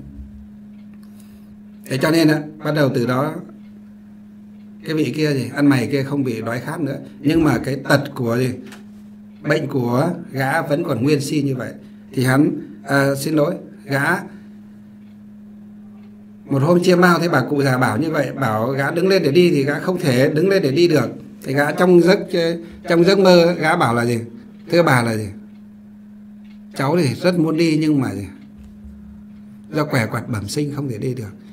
À, bà cụ già bảo rằng cứ đứng lên để đi đi xem. Thế bắt đầu thì mọi khi gã đi thì gã đứng ra đi lê lết thì cứ phải có một cái gậy nữa. Hắn cứ chống cái gậy và lết đi chống cái gậy và lết đi. Thì bà cụ thì bà cụ bảo rằng ngươi gì? Hãy bỏ cái gậy đó đi mà gì? Mà đi bằng chính đôi chân của mình chứ tại sao lại cứ cầm cái gậy đó? Là gã và bà là, thưa bà gì cháu thì đi được là gì? Lết được là do nhờ vào cái gậy này, bỏ gậy đi làm sao mà cháu đi được? Bà cụ bảo, ngươi cứ tin ta, ngươi cứ bỏ cái gậy đi. Và gã gì tin bà cụ già vứt cái gậy đi và đứng dậy đi. Trong giấc mơ gã đứng dậy đi như vậy, các vị biết thế nào không? Trong giấc mơ gã ăn mày, lúc đó là một vị sư bác rồi, đứng dậy đi bằng để đi trong giấc mơ. Nhưng à, đi trong giấc mơ như vậy, thấy bước bước là vài bước mà gã tỉnh, gã sướng quá, gã hét lên là, ta đã gì? Ta đã đi được rồi, đi được bằng chính đôi chân của mình rồi. Hét to như thế, đại chúng ở trong gì? Các chú tiểu và các sư bác ngủ bên cạnh gã, nghĩ rằng gã bị gì? Gã bị chiêm bao cho nên thức cả phòng thức dậy và nói gã và khi đó tự nhiên gì? Nói gã như vậy và gã nói rồi mở mắt ra, gã nói, mọi người nói mắng thì gã bảo để ta do gì? Con vừa nằm mơ thấy một bà cụ già bảo con gì bảo con là vứt gậy lên mà đi. Con thấy như vậy là con vui quá là con thì vứt gậy con đi, con mơ thấy con đi được. Cho nên gì con sướng quá, con con con hét lên như vậy là xin sám hối thì các các chú, các bác thì, các con xin sám hối. Và khi đó vừa nói xong như vậy, gã gì? Gã sờ vào chân, gã duỗi chân ra thì thấy gì? Chân mình duỗi ra thẳng được. Và không thấy gì? Lắc lắc, không thấy đau nữa và thấy cử động được rồi gã gì đặt chân xuống giường rồi, gã đứng dậy và gã gì bước đi được. Các vị đọc ấn quang đại sư, văn sao, thấy câu chuyện đó. Ngày xưa tôi đọc cái câu chuyện đó thì tôi vui sướng đến chảy cả nước mắt. Chỉ có gì? Chỉ có phật pháp, nhiệm màu mới làm được điều đó. Chỉ có gì? Các vị đại bồ tát đã viên mãn hành nguyện và chư phật viên mãn hành nguyện mới gì mới làm được điều đó. Cho nên ở đây chúng tôi mới gì mới giải thích câu gì? Chúng sinh khổ hải, chẳng còn chi là như thế. Muốn dùng cái câu gì? Cái tấm, tất cả tấm lòng thành của mình để tán dương khen ngợi công đức vô lượng, vô biên của đức gì đức quan thế âm bồ tát là như vậy. Cho nên chúng tôi mới nói gì? Vì sao chúng sinh đau khổ bảo là niệm mà không tiêu nghiệp, không khỏi không khỏi bệnh, không khỏi trước vì chúng ta niệm chưa tới, tâm chưa thành, niệm chưa tới, mà cứ đòi gì? Cứ đòi khỏi, khỏe mạnh, cứ đòi khỏi bệnh nữa thì khó lắm các quý vị. Đấy, nếu thì hãy nhất tâm như gã mày kia. Rồi sau này là một vị sa di kia. Hơn 3 năm chuyên chỉ một câu danh hiệu, nam mô quán thế âm bồ tát. Cái đầu tiên vị thoát khổ đó là gì? Thoát đói nghèo. Ngày được hai, ba bữa cơm cháo đủ no như chư tăng trong chùa. Và một cái điều hạnh phúc nhất trong đời của gã đó là gì? Đôi chân của gã sau hơn 3 năm niệm danh hiệu quán thế âm bồ tát, Quán Thế Bồ Tát thì hiện thành một bà cụ già ở trong mơ độ cho gã các quý vị. Chứ không phải là gì hiện ra đời thường này để bốc thuốc chữa bệnh đâu. Trong mơ, các quý vị nhớ là trong ấn quang đại sư nói là trong mơ, trong một giấc mơ của gã mơ thấy như vậy. Và sau một giấc mơ, gã ăn mày trở thành một vị tăng bình thường. Vì khi gã không bị tật nữa thì đương nhiên theo giới luật của đức phật, cụ túc, thân thể đầy đủ cụ túc á, không bị bệnh nữa thì đương nhiên gã được gì? Vì sa di kia được thọ giới gì? Thọ giới, thọ đại giới. Lên gì? Lên làm vị tỷ khiêu và từ đó, trí tuệ của vị tỷ khiêu đó ngày một sáng ra sáng ra và sau này cũng trở thành một vị tăng gì? Một vị tăng giới đức nổi tiếng của Phật giáo Trung Hoa. Chúng ta thấy, Quán Âm Bồ Tát bất tư nghì là như thế. Hạnh đức viên thành, đại từ bi là như thế. Vạn sư nếu cầu, vạn sướng là như thế. Chúng sinh khổ hải, chẳng còn chi là như thế. Cho nên câu tiếp theo mới nói là gì? Nếu người muốn thoát khổ, đồng niệm quán thế âm. Nếu người muốn thoát khổ thì nhất tâm đồng gì? Đồng chỉ niệm danh hiệu gì? Nam mô quán thế âm bồ tát. Đó, đấy là gì? Bài kể, bài khai thị thứ đi. Thứ nhất trong quán âm tam thể niệm. Rồi tiếp theo là gì? Là đọc nam mô thanh lương địa bồ tát ba lần. Nam mô tức là gì? Là quy mệnh, là kính lễ. Kính lễ gì? Thanh lương địa bồ tát, ma tát. Thanh lương địa ở đây là chỉ cho, đây không phải là chỉ cho một vị bồ tát nhất định nào đó. Thanh lương là chỉ cho gì? Pháp dược chỉ cho pháp dược. Địa là chỉ cho gì? Là đất. Pháp dược ở trong đất gì? Đất tâm của tất cả chúng sinh. Trong kinh diệu pháp liên hoa đức phật nói gì? Tất cả chúng sinh đều có phật tính. Ta đây là phật đã thành. Chúng sinh là phật sẽ thành. Cho nên, thanh lương địa bồ tát ma tát ở đây là chỉ cho gì? Cái tự tính thanh tịnh. Tự tính giải thoát, giác ngộ. Hay nói tóm lại gì? Là phật tính viên mãn đầy đủ. Trong mỗi mỗi chúng sinh dấu nhỏ như con trùng con kiến cũng có đầy đủ tự tính thanh tịnh sáng suốt ấy. Cho nên ở đây mới gọi là gì? Mới đọc là nam mô thanh lương địa bồ tát ma tát. Sau bài tán này là gì? Vào tụng gì? Bát nhã tâm kinh. À, bát nhã tâm kinh chúng tôi ở đây chúng tôi tạm thời không giảng bát nhã tâm kinh nữa vì trong trung phong tam thể à trong à, trong kinh địa tạng chúng tôi đã giảng rồi, các quý vị có thể nghe nghe lại. Và sau bát nhã tâm kinh là đến gì? Đến chú vãng sinh. Chú vãng sinh để làm gì? Vì chúng ta biết là, vì chúng ta tổ chức pháp hội quán âm này, không chỉ độ cho dương mà cũng độ cho cả gì? Cả âm. Không chỉ độ cho gia tiên cửu hiền thất tổ của chúng ta, mà còn độ cho là thậm chí độ cho cả những chúng sinh khổ nạn ở trong ba đường ác đạo, địa ngục, ngạ quỷ, súc sinh đều có phần lợi ích. Nếu chúng ta chú trọng, chúng ta hướng tâm về thế giới đó, về cõi khổ nạn đó, thì những chúng sinh ở nơi đó đủ duyên sẽ tiếp nhận được quang minh, công đức của đạo tràng tham dự pháp hội chúng ta hướng về họ. Rồi chúng ta về đọc chú biến thực, rồi chú biến thủy và chú phổ cúng giàng à, mỗi chú bảy lần đó để gì để cho gì những chúng sinh khổ nạn ở trong những đường ác đạo như là địa ngục và ngã quỷ đó được gì được ăn cũng như là được gì ra tiên kỳ huyền thất tổ chúng ta cũng như là đem cúng dàng tam bảo phật pháp tăng và cúng dàng các vị hộ pháp thiện thần thiên long bát bộ về tham dự pháp hội và chứng minh hội chỉ pháp hội đó những cái vật phẩm mà đạo tràng chúng ta tăng ni phật tử và đàn na tín thí. Thập phương chúng ta gì nhất tâm dân cúng lên đó để cung kính cúng giảng quý ngài. Và hôm nay thì chúng ta nghe giảng đến đây. Và ngày mai thì chúng ta à, tiếp theo và bài tán liên trì hồi hướng và bài khai thị số 2 cũng như là tán lư hương. Thì hôm nay thì chúng ta à, hôm nay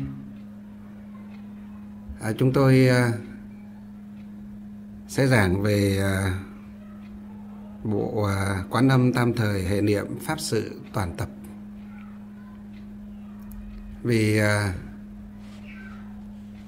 vì sao mà chúng tôi lại chọn bộ này để để giảng? Trong à, buổi khai pháp à, đầu năm à, Mậu Tuất 2018 này. À, vì chúng ta biết à, bắt đầu từ năm à, 2017 cuối 2016 và đầu 2017 cũng như chọn năm 2017 và cho đến nay thì à, ngoài pháp hội trung phong tam thể niệm đạo tràng tịnh tông hội Việt Nam của chúng ta còn có một cái pháp hội rất là quan trọng đó là pháp hội quán âm tam thể niệm. Chúng ta thấy lợi ích của pháp hội à, trung phong tam thể niệm cho cả kẻ còn và người mất. Độ cho khắp tất cả chúng sinh trong cửu pháp giới. Trên thì à, các hàng bồ tát thập địa đẳng giác, diệu giác vẫn quy kính để thụ pháp nơi đức từ phụ a di đà phật và đức từ phụ thích ca mâu ni phật. Pháp ấy cao siêu thậm thâm vi diệu. Không phải ai cũng có đủ duyên lành có đủ căn cơ có đủ phúc báo để mà thể nhập được ngay trong một đời. Cho nên à, chúng tôi nương vào bi nguyện của Đức Quán Thế Âm Bồ Tát.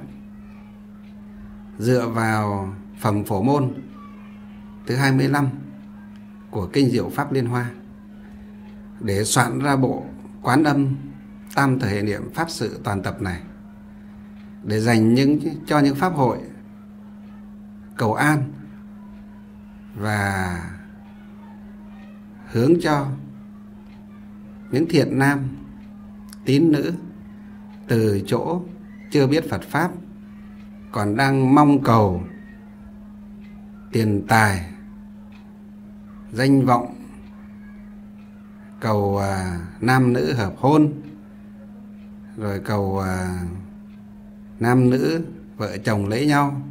Lâu ngày chưa sinh con đẻ cái thì có thể nương vào pháp này để cầu những cái việc gọi là cái thế tục pháp đó. Từ cái thế tục pháp đó dần dần dẫn dắt cho những thiện nam tín nữ ấy, ấy đi vào đạo. Biết được cái giá trị đích thực của Phật pháp đó là cầu giải thoát và giác ngộ. Chúng ta biết là giáo lý của Đức Phật dành để cho tu tâm dưỡng tính bỏ ác, làm lành, lánh giữ, hành thiện. Rốt ráo là tiến tới đạo quả vô thượng bồ đề. Tu tập, sớm thành tựu được cái hạnh nguyện của mình, đó là thành Phật để phổ độ chúng sinh. Nhưng không phải á, ai chúng ta đến chùa lần đầu tiên cũng có thể biết và cầu đạo quả vô thượng chính đẳng chính giác. Nhiều năm, hầu Phật ở trong chùa xuất gia hành đạo, hoàng pháp ở trong chùa. Chúng tôi mới thấy rằng, nhận ra rằng, người đời thời nay, đại đa số đến chùa là gì? là cầu xin, tiền tài danh vọng của cải quan tước, cầu bình an, cầu sức khỏe rồi cầu à, nam nữ hợp hôn cầu à, à, sinh con cái vân vân. Nói chung là gì? Họ thích cầu những cái phúc báo của thế gian.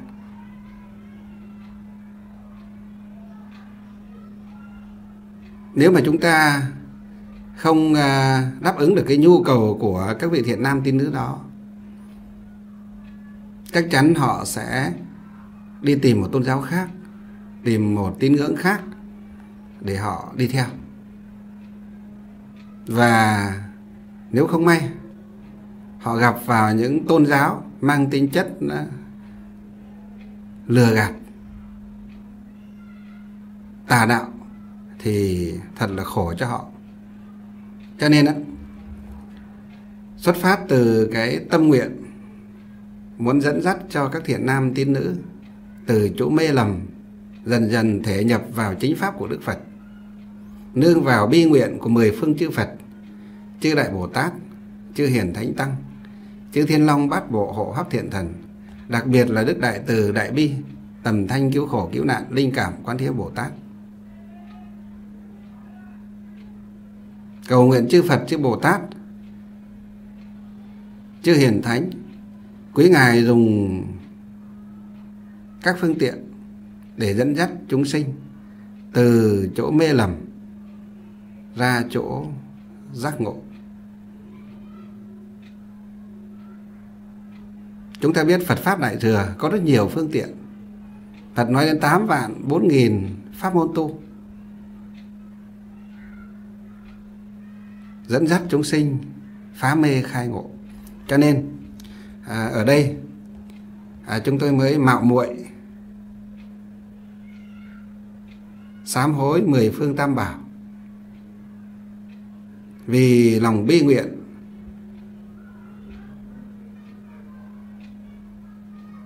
vì nói theo cái lòng bi nguyện của Đức Quán thiêm Bồ Tát, Đức Địa Tạng Vương Bồ Tát muốn cho tất cả chúng sinh dần dần đều được phá mê khai ngộ. Cho nên á, nương vào cái phẩm phổ môn này soạn ra cái bộ quan âm tam thể niệm này và từ khi soạn ra, pháp hội đầu tiên được tổ chức vào tháng 9 năm 2016 à,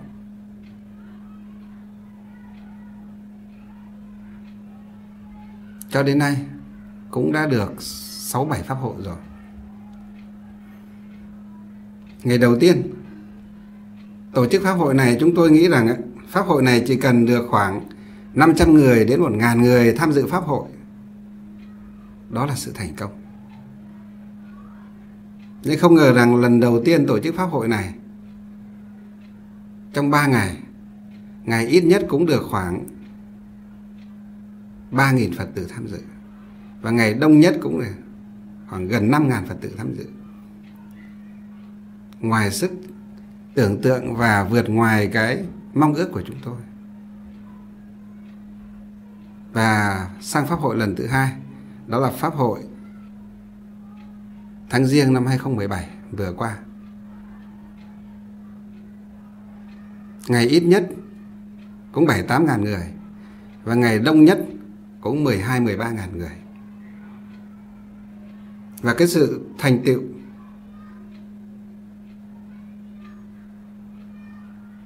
từ công đức và bi nguyện sự gia trì của mười phương chư Phật, đặc biệt là Đức Quán Thế Âm Bồ Tát. Cho nên rất nhiều các quý liên hữu Phật tử, rất nhiều các quý vị thiện nam tín nữ sau những pháp hội quan âm đó, họ đạt được những cái tâm nguyện của họ. Rất nhiều những mẩu chuyện, những câu chuyện cụ thể trong cuộc sống.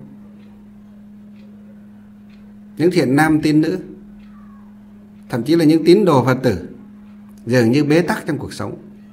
Sau khi tham dự pháp hội về, họ giải quyết được các vấn đề mâu mắc ở trong tâm họ, ở trong cuộc sống của họ Cho nên đây là một sự vi diệu. Đây là một sự thù thắng. Đây là một sự bất khả tư nghỉ Chỉ có gì? sự gia trì của Phật Pháp, sự gia trì của Đức Quán Thế Âm mới có thể làm được điều đó. Và chỉ khoảng sau hơn 2 tuần nữa thôi, Đạo tràng Tịnh Tông Hội Việt Nam Chùa Khai Nguyên chúng ta phải tiếp tục tổ chức pháp hội cầu an đầu năm bằng pháp hội quán âm tam thời điểm này thay vào là như các chùa À, cúng dâng sao giải hạn. Hoặc lập đàn tụng kinh phổ, kinh dược sư đầu năm, vân vân. Thì chúng ta thì tổ chức pháp hội, quán âm tam thể niệm. Dùng chính pháp của Phật để cảm hóa nhân tâm. Dùng chính pháp của Phật để thu phục lòng người và dùng chính pháp của Đức Phật để hóa độ quần chúng. Phá mê, khai ngộ.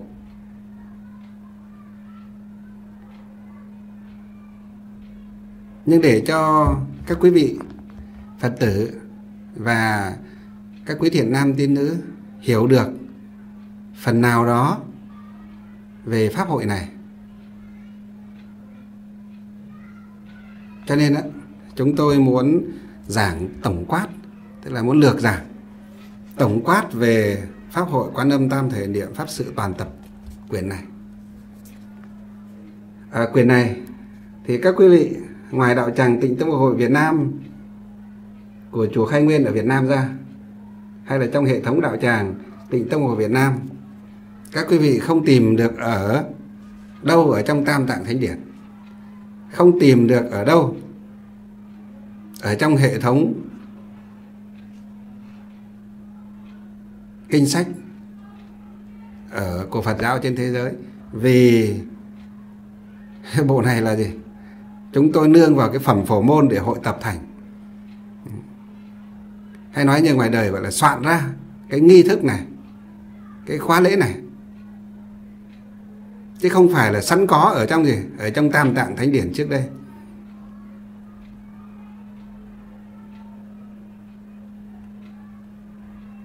Sám hối phật tổ.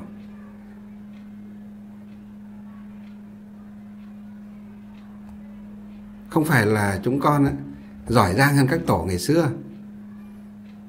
Nhưng mà đây vì muốn đem cái bi nguyện của đức quán thế âm bồ tát để rộng độ chúng sinh. Cho nên chúng con thì mạo muội mới soạn ra cái bộ quan âm tam thể niệm này. À, thưa với các quý vị trước khi soạn cái bộ này chúng tôi cũng đã thắp hương lễ phật và phát nguyện đối trước thánh dung của chư phật, chư đại bồ tát, đặc biệt là đức quán thế âm, để cầu xin ngài gia trì cho, khai thị cho, mở mang trí tuệ cho, để hội tập được cái bộ quan âm tam thể điểm này. Cho nên, hôm nay thì à, để cho các phật tử chúng ta à, biết được cái phần đại cương của cái bộ à, quan âm tam thể niệm này à, chúng tôi sẽ giảng à, đại cương về cái à, bộ này. À, chúng ta thấy và cái bộ à, vì sao lại lại lấy nhan đề là quán âm? Tam thể niệm pháp sự toàn tập quán âm là lấy theo tên. Chúng ta biết rồi, đấy là lấy theo tên của một vị gì? Một vị đại bồ tát. Đó chính là gì? đức quán thế âm bồ tát. Đức đại từ, đại bi, tầm thanh, cứu khổ, cứu nạn, linh cảm, quán thế âm bồ tát. Ngài chính là một vị đại sĩ một vị đại bồ tát, một vị đại đệ tử của đức tử phụ a di đà phật ở tây phương cực lạc thế giới.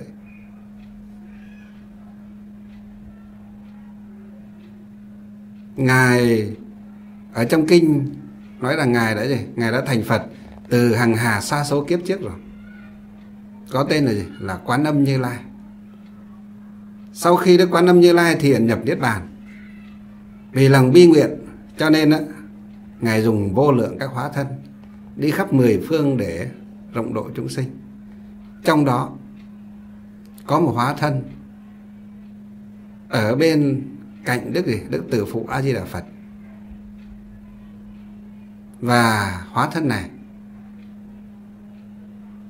lại có thể biến hóa vô lượng các hóa thân đi khắp mười phương, đặc biệt là thế giới sa bà chúng ta cõi nam Thiệm bộ châu của chúng ta rất có duyên với ngài. Trong phẩm phổ môn thứ 25 của kinh diệu pháp liên hoa, đức phật thích ca mâu ni chúng ta đặc biệt tuyên dương, khen ngợi, tán thán về công đức của đức quán thế âm bồ tát. Nói về hành nguyện của đức quán thế âm bồ tát. Cho nên, cái bộ tam thể niệm này. Với cái nhan đề đầu tiên là gì? là quán âm. Tam thể niệm. Tam thời. Có nghĩa chữ tam có nghĩa là ba. Thời có nghĩa là gì? Là thời gian, là thời khắc. Chữ hệ niệm, chữ hệ có nghĩa là buộc. Là buộc. Chữ niệm có nghĩa là gì? dùng cái tâm mình để chú trọng vào chỗ nào đó. Hệ niệm có nghĩa là dùng cái tâm niệm buộc vào chỗ nào đó. Trong kinh đức phật nói, tâm của chúng sinh là tâm viên ý mã, tức là tâm con khỉ và ý con ngựa. Nay chữ hệ ở đây, tức là giống như sợi dây, để buộc cái gì? Cái tâm viên ý mã của chúng ta vậy. Dùng pháp quan âm tam thể niệm này, để buộc cái tâm viên ý mã của chúng ta lại, để cùng nhau tu tập, cùng nhau tán thán, cùng nhau khen ngợi, cùng nhau cung kính, cúng dường, đỉnh lễ, trì niệm, danh hiệu được quán thiên bồ tát, vân vân. Trong kinh nói, người niệm được gì? Được hàng ức hàng hà sa, danh hiệu bồ tát. Công đức không bằng niệm một danh hiệu đức quan thiên bồ tát. Hoặc là trong kinh nó nói gì? Niệm được hàng hà sa danh hiệu quan thiên bồ tát công đức vô lượng. Thế chỉ cần gì? Niệm một danh hiệu quan thế bồ tát công đức bằng nhau không có khác. Đó, cho nên chúng ta biết rằng công đức và sự thành tựu bi nguyện của đức quán thế âm bồ tát đối với chúng sinh là là rất lớn. Không thể nghĩ bàn được. Chỉ cần trì niệm danh hiệu của ngài cung kính đỉnh lễ tranh ảnh tôn tượng của ngài cúng dường tranh ảnh tôn tượng của ngài. Thọ trì đọc tụng phẩm phổ môn này công đức vô lượng vô biên.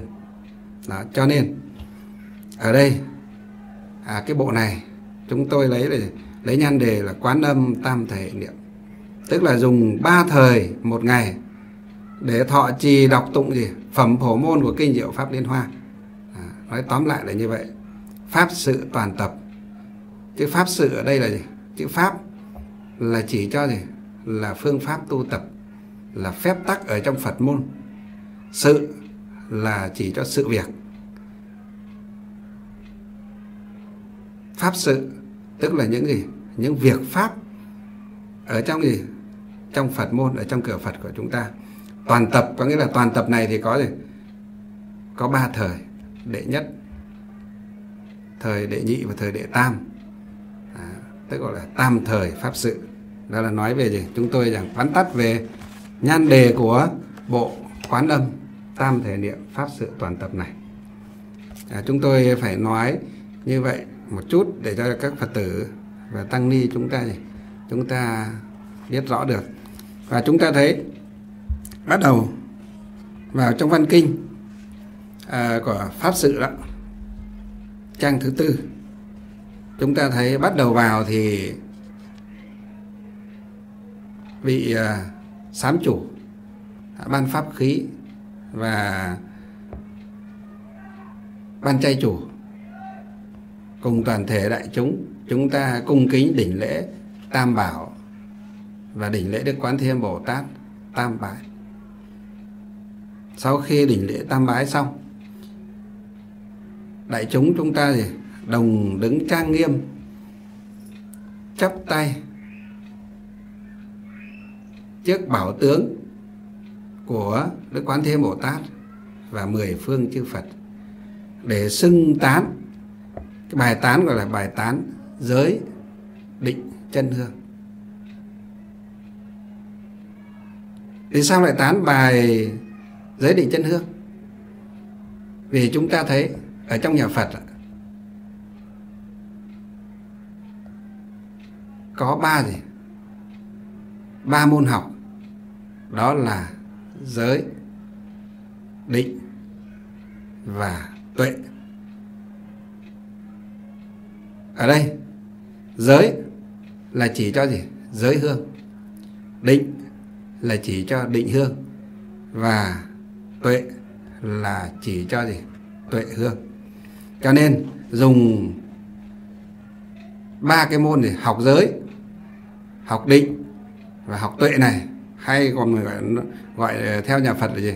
Ba môn tu gì? Tu giới tu định tu tuệ này. Để dâng lên cúng dường Đức Quán Thế Bồ Tát.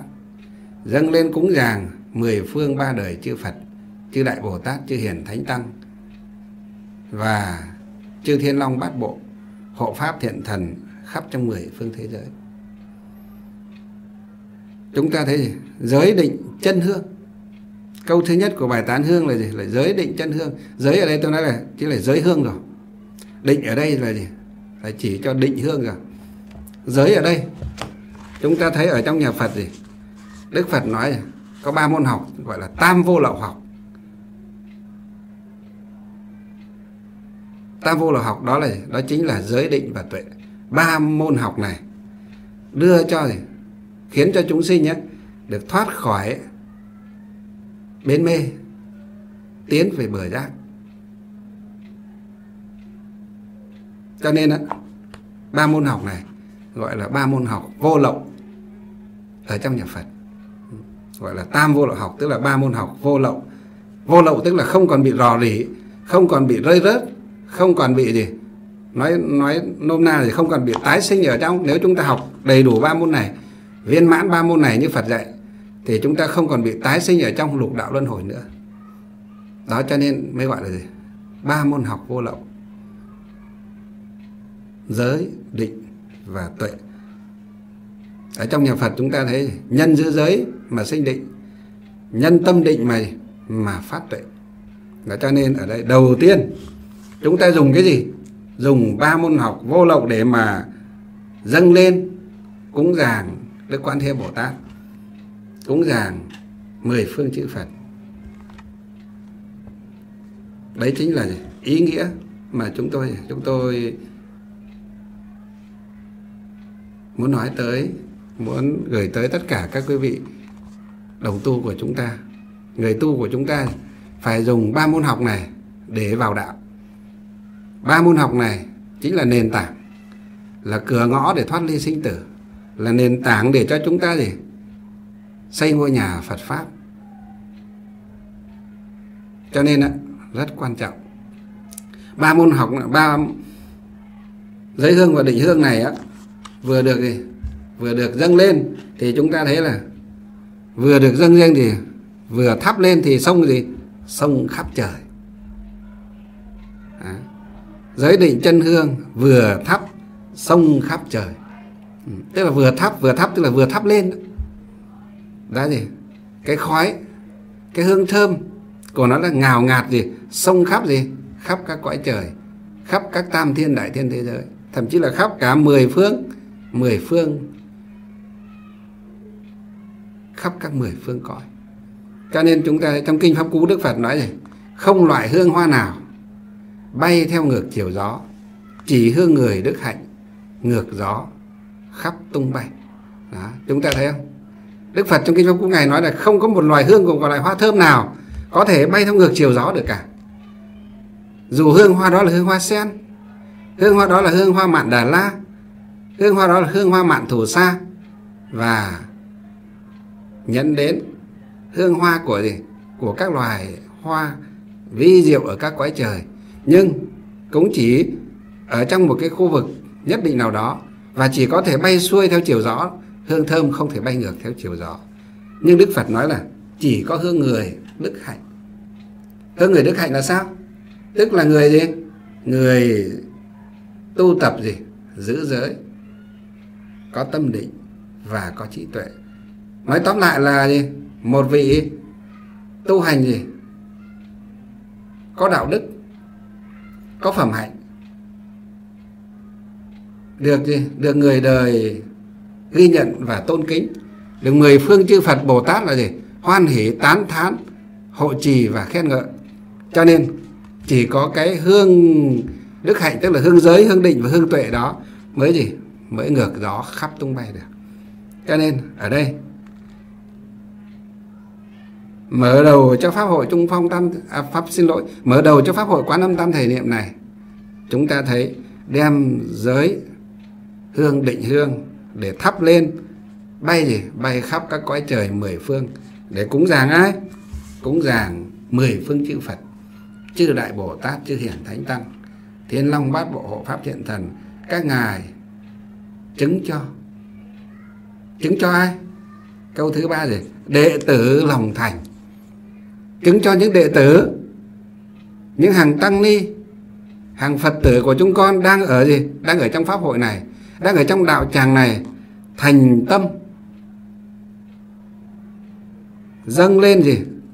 Dâng lên cái tâm giới, tâm định và tâm tuệ này để cúng dường chư Phật và chư Bồ Tát. Cho nên mới nói đệ tử lòng thành. Đệ tử ở đây là gì? Là nói tắt. Nếu nói đầy đủ thì phải nói đệ tử chúng con đem lòng thành kính nhưng mà ở đây là gì? Nó theo cái bài 8 theo cái bài 8 theo cái nhạc điệu theo cái lời à, cái cái phổ nhạc. Cho nên không thể à, đưa hết ra là gì? Đệ tử chúng con đem lòng thành kính. Cho nên ở đây chỉ nói tắt đệ tử lòng thành. Thì chúng ta phải hiểu rằng đệ tử chúng con đem tất cả cái lòng thành kính gì? Thành kính này. Để để đâu? Thắp đặt trong lư vàng thắp thắp tức là gì? Các quý vị à, hãy nghe thấy cái từ gì? thắp đèn lên. Thắp hương lên đúng không? Đó ngày xưa chúng ta hay nghe ở Việt Nam chúng ta hay nghe thấy từ thắp đèn lên. Thắp hương lên để gì? Để cúng Phật. Thắp đèn lên để gì? Để cúng Phật vân vân. Hay là đốt hương lên để để cúng Phật. Hay là đốt đèn lên gì cho nó sáng. À, cái từ thắp cũng được mà đốt cũng được. À, nhưng thường thường chúng ta hay gì dùng cái từ nó à, nó dễ nghe hơn nó xuôi hơn. Đó là trừ từ thắp à, từ thắp. Thắp thì đặt ở đâu? Đặt ở trong lư vàng. Lư vàng ở đây nói nghĩa đen thì là cái cái gì dùng cái nghĩa đen đó tức là chúng ta dùng cái hương trầm hương ở bên ngoài. Chúng ta thắp, chúng ta để vào trong cái lư gì? Cái lư bằng đồng đó, có màu vàng đó, gọi lư vàng. Nhưng ở đây, cái lư nếu nó nói bằng gì? Bằng nghĩa bóng ở đây. Lư ở đây là gì cái lư này ở trong gì? Trong tâm của chúng ta. Cái lư vàng chính là gì? Trong a lại gia thức của chúng ta. Chúng ta thấy, trong kinh đức phật nói, mỗi chúng sinh thì có bát thức tâm vương và 51 thức tâm sở bát thức tâm vương để nhãn nhĩ tị thiệt thân ý mặt na. A lại ra. Tám thức tâm vương. Thì cái thức thứ tám, a lại ra thức, còn gọi là gì? Là chủng tử thức. Hay còn gọi là gì? Tàng thức. Nó chính là cái kho.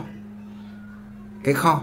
Cái kho đó, cái kho tâm đó là chất chứa tất cả các chủng tử thiện và ác. Và nay chúng ta đối trước tam bảo, thánh dung, mười phương chư phật và đức quán thế bồ tát, diệt trừ đi tất cả những nghiệp chướng xấu ác. Từ vô thủy chúng ta gieo trồng, hướng tới cái thiện, lấy tất cả những cái gì? Cái tâm thiện ra, gột rửa những cái gì? Những cái xấu để cho nó trong sạch, thành những cái gì? Cái tốt đẹp, cái thiện lành. Cho nên, cái tàng thức của chúng ta bây giờ được ví như là gì? Là cái lư vàng đem tất cả tâm giới, tâm định và tâm tuệ đó và món hương giới, hương định, hương và tuệ hương đó đốt ở trong gì? Sông khắp, dùng ở trong gì? Tất cả đều nghi ngút bốc lên từ gì? Từ cái bạch tịnh thức. Chuyển gì? Bát thức tâm vương thành tiền ngũ trí. Đó. Cho nên chuyển thành rồi thì cái thức đó cái a lại ra thức đó chính là gì? Cái lư vàng vậy. Đựng tất cả những gì? Những chủng tử thiện lành, tốt đẹp, do giới định tuệ, giải thoát và giải thoát trí kiến, huân tập, hôn đúc thành vậy. Cho nên ở đây mới nói là thắp đặt ở trong lư lư vàng, liền gì? Liền tỏa cuồn cuộn biến khắp mười phương à, chúng ta thấy nếu mà chỉ là một cái gì? Một cái nén hương. Chúng ta thắp bằng cái nén hương trầm mà chúng ta thắp đó làm gì cái khói của nó có thể cuồn cuộn tỏa khắp mười phương xin thưa các quý vị cái đạo tràng cái nhà pháp hội chùa khai nguyên tuy lớn nhưng cũng chỉ khoảng mới khoảng trên 2.000 mét vuông. Thắp cả cái lư hương đó khói còn gì người đứng ở dưới cuối pháp hội còn chẳng nhìn thấy khói hương bay lên là. Người đứng ở những bàn đầu những hàng đầu thì còn thấy cái khói hương bay lên. Những người từ hàng giữa thì thấy mờ mờ còn những người ở hàng cuối cách xa hàng năm sáu mươi mét thì không nhìn thấy khói hương đâu nữa là. Cho nên á, nếu mà nói là dùng cái gì? Cái nén hương bằng bằng bột bằng các loại bột thơm ở thế gian chúng ta nhào nặn lên đó thì chưa đủ chưa viên mãn và chưa đúng với tinh thần ở trong bài bài tán giới định chân hương này. Cho nên ở đây phải là hương gì? Hương tâm, hương giới, hương định và hương tuệ đó thắp lên ở trong lư vàng tàng thức a lại ra của chúng ta thì cái khói cái khói thơm đó mới ngào ngạt, bay được gì? Bay đầy khắp mười phương thế giới. Để làm gì? Để cúng dường. Chư Phật, chư Bồ Tát vậy rồi câu tiếp theo chúng ta là xưa bà Gia Du thoát nạn tiêu tai trượng à, bà Gia Du Đà La xưa kia khi gặp nạn bà do gì cũng chứng minh và đem dâng cúng được thì ba cái món hương này giới định và tuệ hương này. Cho nên á, bà thoát khỏi cái nạn gì? Cái nạn lửa. À, miễn nạn tiêu tai chướng mà. Xưa bà gia dụ ở đây là nói về cái tích tích nói là trong cái tích này được kể ở trong ờ, uh, quyền uh, ờ, sa di uh, luật nghi yếu lược tăng chú. Mà ngày xưa chúng tôi còn bé bé mới xuất ra đi học có được học cái quyển cái câu chuyện này. À, câu chuyện trong sa di luật nghi yếu lược tăng chú hay sa di luật nghi yếu giải hay là sa di luật nghi lược giải đó đều có nói rất rõ về câu chuyện là bà Gia Du Đà La tức là vợ của ai? Vợ của thái tử Tất Đạt Đa. Chúng ta biết thái tử Tất Đạt Đa khi chưa xuất gia thành Phật đó, ngài có kết hôn với một cô công chúa. Công chúa vị cô công chúa đó chính là gì? Là Gia Du Đà La. Chúng ta biết là thái tử Tất Đạt Đa kết bị vua cha tịnh phạn và hoàng hậu à, tức là mẹ nuôi Mahabasa Ba Đề ép ngài kết hôn với cô công chúa nước Lân Bang là Gia Du Đà La năm 16 tuổi, chung sống với nhau 3 năm, đến năm 19 tuổi thì La Hậu La ra đời. Khi đó thì Thái tử Tất đà Đa mới vượt thành xuất gia. Nhưng hôm nay chúng tôi phải dẫn dụ để giải thích cái câu gia du đà la miễn nạn tiêu tay chướng này cho chúng ta nghe đó là ở trong quyển pháp hoa huyền tán của ngài khuy cơ. Quyển này rất ít lưu hành. Ở việt nam chúng ta không phải là vị tăng ni nào cũng có có thể một đời được gặp cái quyển này, vì quyển này rất ít lưu hành. Thì chỉ có những người có duyên lắm mới mới gặp được cái quyển này. Pháp hoa huyền tán của đại sư khuy cơ. Đại sư khuy cơ là một vị đại đệ tử của ngài trần huyền trang, một vị tam tạng pháp sư rất nổi tiếng mà chúng ta thì có lẽ người phật tử nào cũng biết tới ngài với gì? Với câu chuyện gì? Tây du ký, đường tăng đi thỉnh kinh ở thời nhà đường bên trung quốc. Đó. ngài tam tạng pháp sư trần huyền trang đã có một vị đại đệ tử rất thông minh, rất giỏi, cũng được gọi là tam tạng pháp sư, hay còn gọi là đại sư khuy cơ. Ngài có viết một cái, giải thích một cái quyển bộ luận, gọi là luận pháp hoa huyền tán, giải thích kinh diệu pháp liên hoa. Ngài nói rằng, khi mà thái tử tất đạt đa xuất ra cái người con mà thái tử nhìn vào á, bên cạnh gia du đà la để xuất ra đó, không phải là la hầu la, mà đó chính là gì? Là một vị sau này cũng xuất ra theo phật, đó chính là thiện tinh tỷ khiêu. Đó chính là thiện tinh tỷ khiêu. Và la hầu la, sau khi mà thái tử tất đạt đa sinh, la hầu sinh thiện tinh rồi á, thì ngài còn ở lại kinh thành một thời gian ngắn nữa. Và cái thời gian đó, thì chúng ta biết thì lúc đó ngài là thái tử thì vợ chồng chung sống với nhau, đó là chuyện bình thường, không có phạm pháp, không có gì cả. Đó. cái việc ngài vợ chồng được vua cha đôi bên là gì? Cưới gả hẳn hoi. Những cái này thì tôi nói với các quý vị là gì? Rất ít được giải thích ở trong gì? Ở trong tam tạng thánh điển. Có thể là một cái lý do tế nhị nào đó. Nhưng đây là chúng tôi đang giải thích cái chuyện à, gia du đà la miễn nạn tiêu tay chướng này nó dẫn ở trong gì? Trong sa di lược giải và kinh pháp hoa huyền tán của đại sư khuy cơ để giảng cho chúng ta. Không có chúng ta mới thấy là trong kinh thì nói là ở cái cái cái à, giải thích cái câu gia du đà la miễn nạn tiêu gia chướng này nói nói rằng, sau khi thái tử tất đà đa xuất gia 6 năm sau, cái bụng của la hầu la gì? Càng ngày gì à xin lỗi, cái bụng của gia du đà la, càng ngày càng gì? Càng lớn lên. Và mọi người ở trong triều á, thì bắt đầu gì có lời ra tiếng vào dị nghị rằng gia du đà la phụ bạc thái tử và đi ngoại tình với một người nào đó.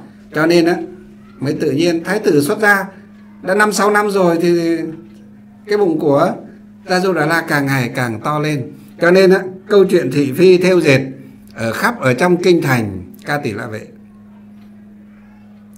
Gia du đà la rất là buồn, nhưng không biết gì.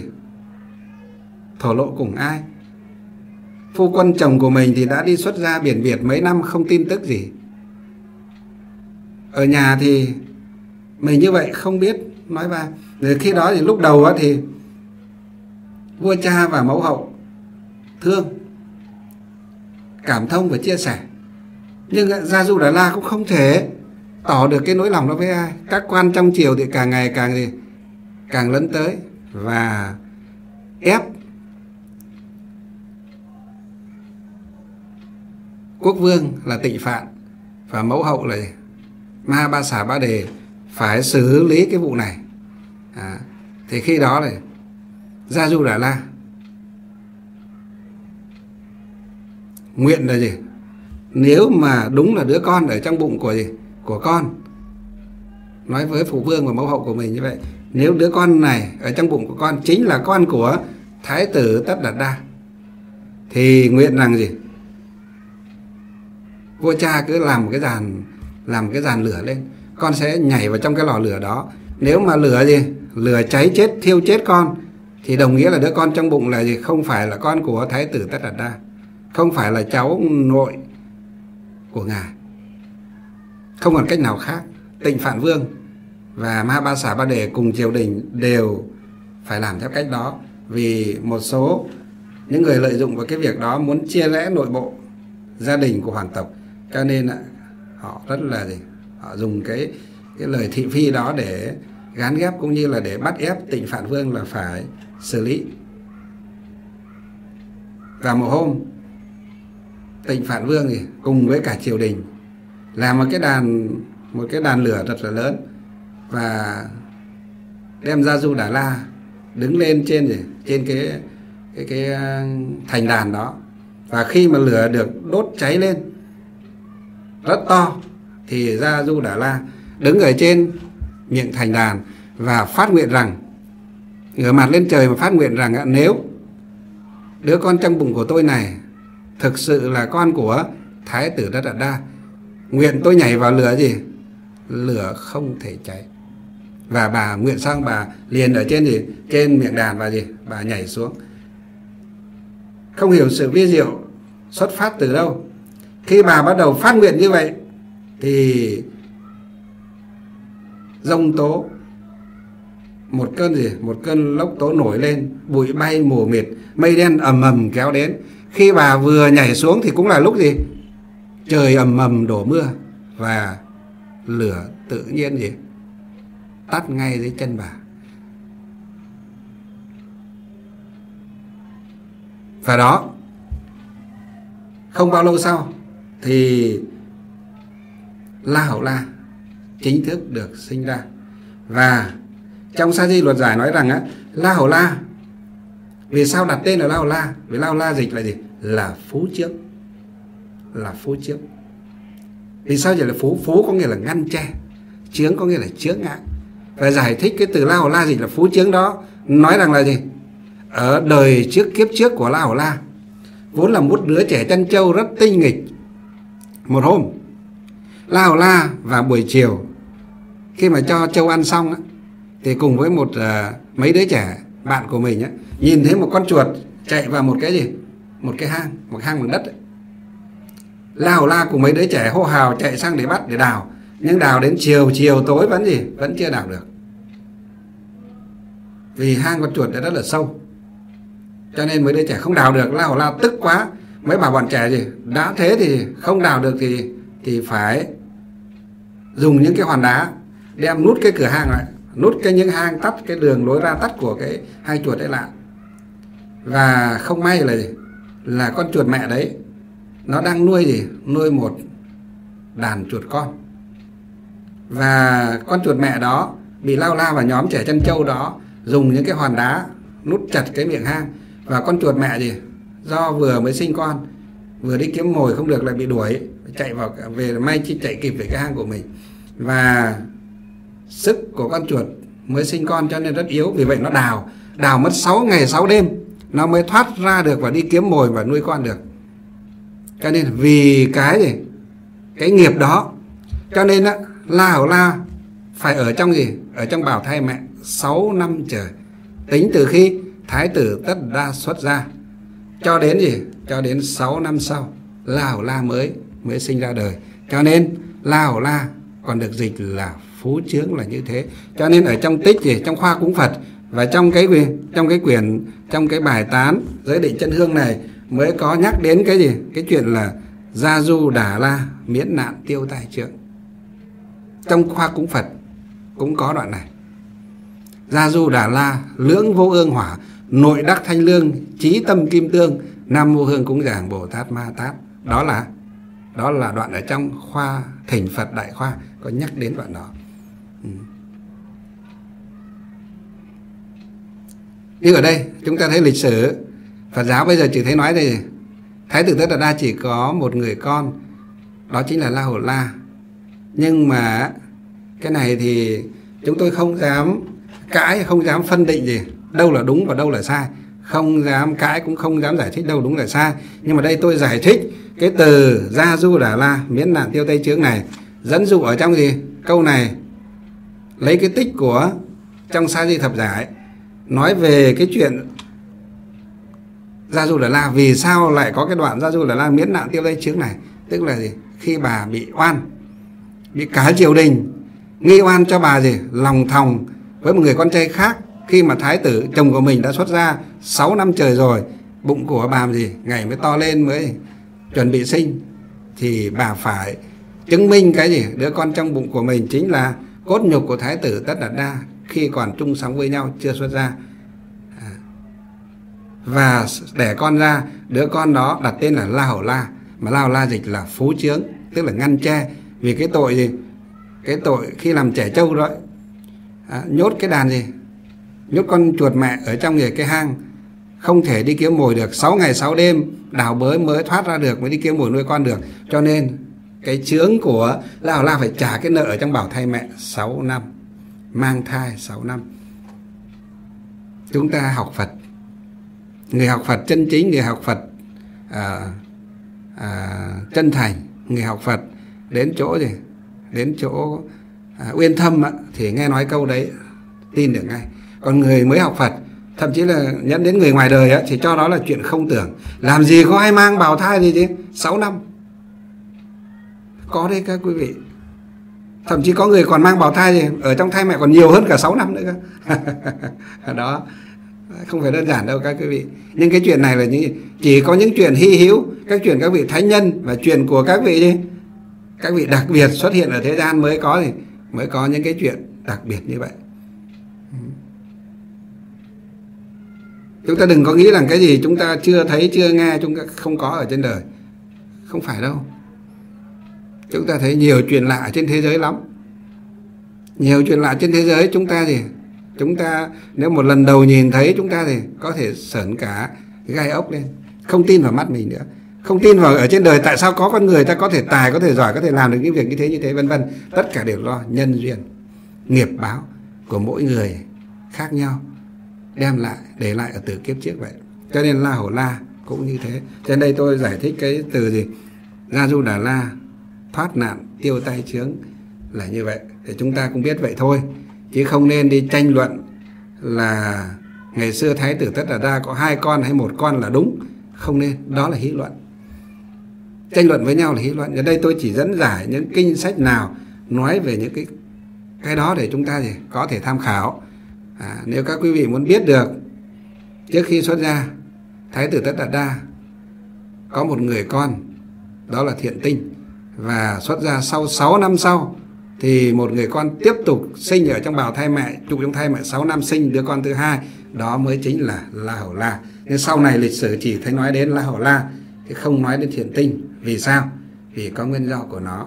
Vì thiện tinh sau khi xuất ra với đức phật cùng với đề bà đà đa tạo phản tức là làm phản phật. À, theo gì? Theo ông chú tức là đề bà đà đa thiện tinh và đề bà đạt đa, cùng ở trong cái cái nhóm là gì? Lập mưu để hại phật. Cho nên một đứa con, một đứa con nghịch tử như vậy, chắc chắn là không ai muốn nhắc đến. Mà chỉ có gì? Nhắc đến la hầu la là một đứa con gì? Hiếu thảo. Một đứa con gì? Có mật hạnh đệ đệ nhất trong 10 vị đại đệ tử của đức phật. Trong vô số các đệ tử của đức phật, thì la hầu la có thì có một cái hạnh gọi là mật hạnh đệ nhất. Nhưng chúng ta xin thưa các quý vị lao la khi mới xuất ra cũng nghịch lắm là một đứa trẻ tinh nghịch lắm ngang ngược lắm ngỗ nghịch lắm không phải đơn giản đâu. Phật độ được lao la là gì cũng phải dùng rất nhiều phương tiện mới cảm hóa được đó không phải đơn giản.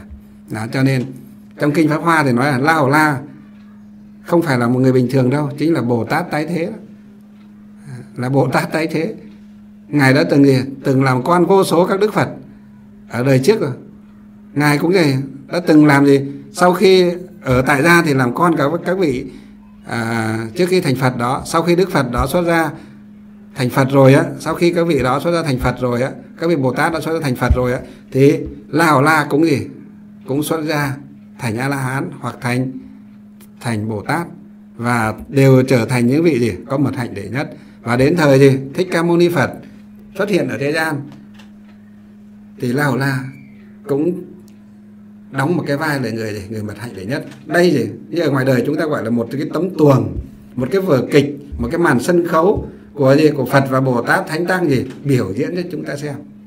Cái nhiều pháp liên hoa nói rằng, phẩm như lai thọ lượng nói rằng, Đức Phật Thích Ca đã thành đạo gì? Cách đây gì vô lượng, vô biên a tăng kỳ kiếp rồi. Còn cái Đức Phật thành Phật, cách đây trên 2.500 năm theo lịch sử Phật giáo Ấn Độ chúng ta học và biết tới đó. Đó chính là gì? Một hóa thân của Thích Ca Mâu Ni Phật. Vì bi nguyện, ngài thể hiện ra ở gì? Ở quái Nam Thiện Bộ Châu chúng ta này để phổ độ chúng sinh mà thôi. Cho nên, các vị Bồ Tát, các vị Thánh Tăng như La Hầu La cũng là gì? Cũng là một vai do bi nguyện mà thể hiện ra. Như thế ừ. chứ không phải là một phàm phu tục tử bình thường như chúng ta đâu, các quý vị. Nó học Phật nếu chúng ta thông được cái điều đó, thì chúng ta thông suốt, không còn bị nghi ngờ cái gì nữa. À. rồi tiếp theo là gì? Là câu tán nam mô hương vân cái bồ tát, ma tát. Từ nam mô có nghĩa là quy mệnh, là kính lễ, hương vân cái, bồ tát, ma tát. Đây không phải là chỉ một vị bồ tát nào. Hương vân. Hương là gì? Là cái khói hương mà chúng ta dâng lên lúc nãy là giới hương định hương tuệ hương đó. Vân là gì là đám mây. Đám mây gì? Giới mây định và mây tuệ đó.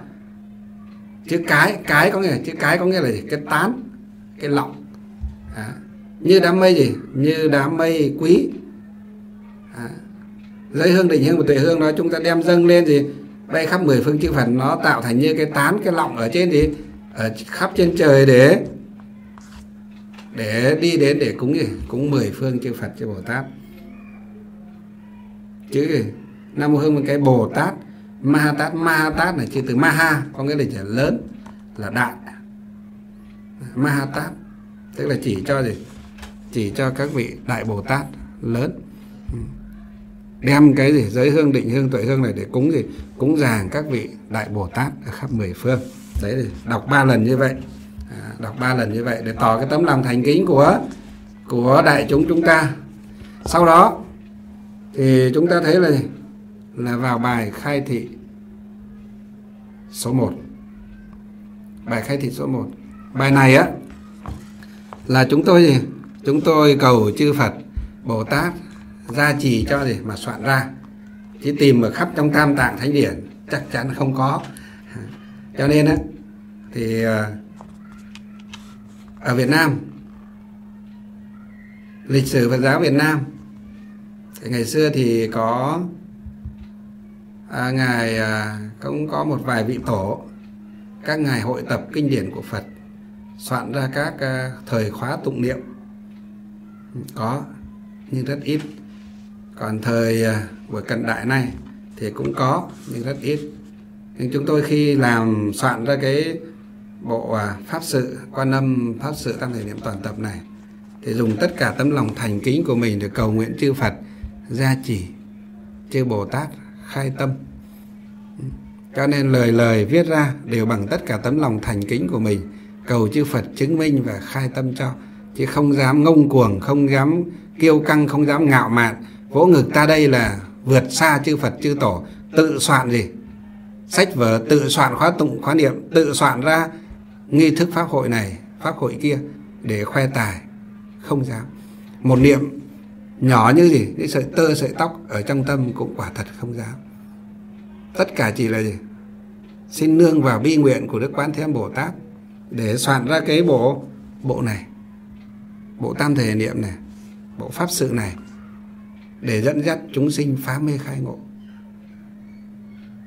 bỏ tà theo chính, hướng về Phật pháp, chính chính đạo vậy. Thay bằng gì? Thay bằng cái việc gì? Cúng ờ, dâng ờ, sao giải hạn.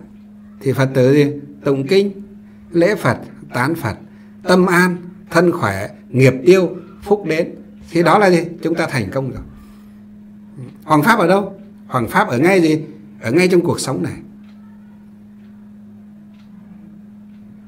Nhiều bạn bè, huynh đệ đồng tu với chúng tôi, đồng học với chúng tôi hỏi rằng tại sao chỉ trong vòng có mấy năm mà ông làm được những việc khó làm như thế? Xây dựng được những đạo tràng lớn như thế? Thu phục được nhiều tín đồ phật tử như thế? Tôi chỉ cười mà không biết trả lời như thế nào. Không dám trả lời như thế nào, chỉ cười thôi. Vì thầm nghĩ ở trong bụng rằng gì? Tất cả gì? Nhờ sự gia trì, gia hộ của chư Phật, chư Bồ Tát. Mình dùng tất cả lòng thành của mình để cầu Phật Bồ Tát gia trì còn mọi việc, mọi sự mọi việc, đó là sự gì? Sắp xếp của chư Phật Bồ Tát. Ta không có tài đức gì. Mình không có tài đức gì để mà ta đây vô ngực là ta tài, ta giỏi. Ta hơn chư Phật, hơn chư tổ. Phật thì có thể không dám, nhưng mà hơn chư tổ. Thế này thế khác. Như thế là tâm ma. Cho nên ở đây, chúng tôi trước khi nói vào cái bài kệ số 1 này, cũng có 15 bài kệ như Trung Phong Tam Thể Niệm. 15 bài gì? Bài khai thị. Xin lỗi, 10, có 15 bài khai thị giống như Trung Phong Tam Thể Niệm. Và phần lớn các gì các nghi thức ở đây là cũng nương vào gì? Trung Phong Tam Thể Niệm. Để mà soạn ra cái bộ nghi thức này. Đó. cho nên ở đây bài khai thị thứ nhất chúng ta thấy có câu tán thán đấy gì? Đức quán âm. Quán âm bồ tát bất tư nghỉ hạnh đức viên thành đại tử bi vạn xứ nếu cầu, vạn xứ ứng. Chúng sinh khổ hải, chẳng còn chi. Đây là một bài kệ. Bốn câu. Nói về gì? Tán thán về đức hạnh của đức quán thế bồ tát. Câu thứ nhất nói là, quán âm bồ tát bất tư nghỉ. Quán âm bồ tát là chỉ cho gì? Đây là chỉ danh từ riêng. Chỉ cho một vị đại bồ tát, tên là quán thế âm thì hiện ở tây phương cực lạc thế giới. Thị giả bên gì? Chúng ta thường thấy là ngài đứng ở bên tay gì? Tay tay trái của đức tử phụ a di đà phật. Bên tay phải đức đại thính trí bồ tát. Tay trái là đức gì? Quán thế bồ tát. Và chúng ta thấy gì? Quán âm bồ tát bất tư nghỉ. Bất tư nghỉ ở đây, chữ bất có nghĩa là gì? Là chẳng. Chữ tư có nghĩa là suy nghĩ. Nghỉ có nghĩa là suy lường, là nghĩ bàn. Bất tư nghỉ có nghĩa là chẳng thể nghĩ gì chẳng thể nghĩ bàn. Nói về bồ tát quán thế âm á, thì chẳng thể nghĩ chẳng thể bàn. Nghĩ chẳng thể thấu mà bàn chẳng thể chẳng thể được. Cho nên gọi là gì? Bất tư nghỉ đó. hành đức viên thành đại từ bi. Hành ở đây là chỉ cho hành nguyện. Đức ở đây là chỉ cho đức gì? Đức đồ của của đức quán thế âm là gì? Là viên thành. Viên là viên mãn là tròn đầy gọi là viên chữ thành ở đây là thành tựu. À, chữ thành ở đây là thành tựu. Là không còn khuyết thiếu. Chữ viên thành có nghĩa là thành tựu tất cả. Viên mãn tất cả không còn khuyết thiếu. Khuyết thiếu cái gì? Không còn khuyết thiếu một chút gì một chút gì nữa. Cho nên á ngài mới được gọi là bậc đại từ đại bi tầm thanh cứu khổ cứu nạn linh cảm quán thế âm bồ tát. Chữ đại có nghĩa là to lớn. Từ bi chữ từ á, trong giải thích của chữ hán là từ, năng giữ, nhất thiết chúng sinh chi lạc bi, năng bạt, nhất thiết chúng sinh chi khổ. Có nghĩa là gì? Người có lòng từ thì hãy đem đến gì? Đem đến cho tất cả cái sự an vui cho cho chúng sinh. Năng giữ nhất thiết chúng chúng sinh chi lạc mà. Tức là đem cho. Năng giữ tức là có thể cho ban cho chúng sinh, tất cả chúng sinh gì? Cái sự lạc, tức là an vui, hạnh phúc. Đó. người có tâm bi bi có nghĩa là thương xót. Người có tâm bi á, thì hãy gì? Năng bạt, tức là có thể tiêu diệt, có thể diệt trừ tất cả những những khổ não. Cho gì? Cho chúng sinh. Ai làm được điều đó? Chư phật mới làm được điều đó. Quán thế âm mới làm được điều đó địa tạng vương mới làm được điều đó văn thù phổ hiền mới làm được được điều đó. Các vị đại bồ tát các vị phật đã thành tựu. Viên mãn hành nguyện công đức của mình mới làm được điều đó. Còn chúng ta nếu có là bồ tát thì là tiểu bồ tát. Mà tiểu bồ tát thì chưa chưa được gọi là đại từ đại bi. Có từ bi nhưng chưa được gọi là đại từ đại bi. À, các vị thánh tăng a la hán cũng có gì lòng đại từ đại bi. Nhưng mà chưa được viên mãn như phật chưa được to lớn như như các vị đại bồ tát. Cho nên, ở đây, tán thán công đức của, hành nguyện của đức gì? Đức quán thế bồ tát là viên thành, viên mãn vậy. Rồi, câu tiếp là gì? Vạn sứ nếu cầu, vạn sứ ứng. Vạn sứ ở đây là gì? Là tất cả khắp trốn khắp nơi. Không chỉ quái năm thiền bộ châu chúng ta này, mà khắp cả mười phương thế giới. Nơi nào có gì? Có chúng sinh khổ đau. Kêu cầu gì?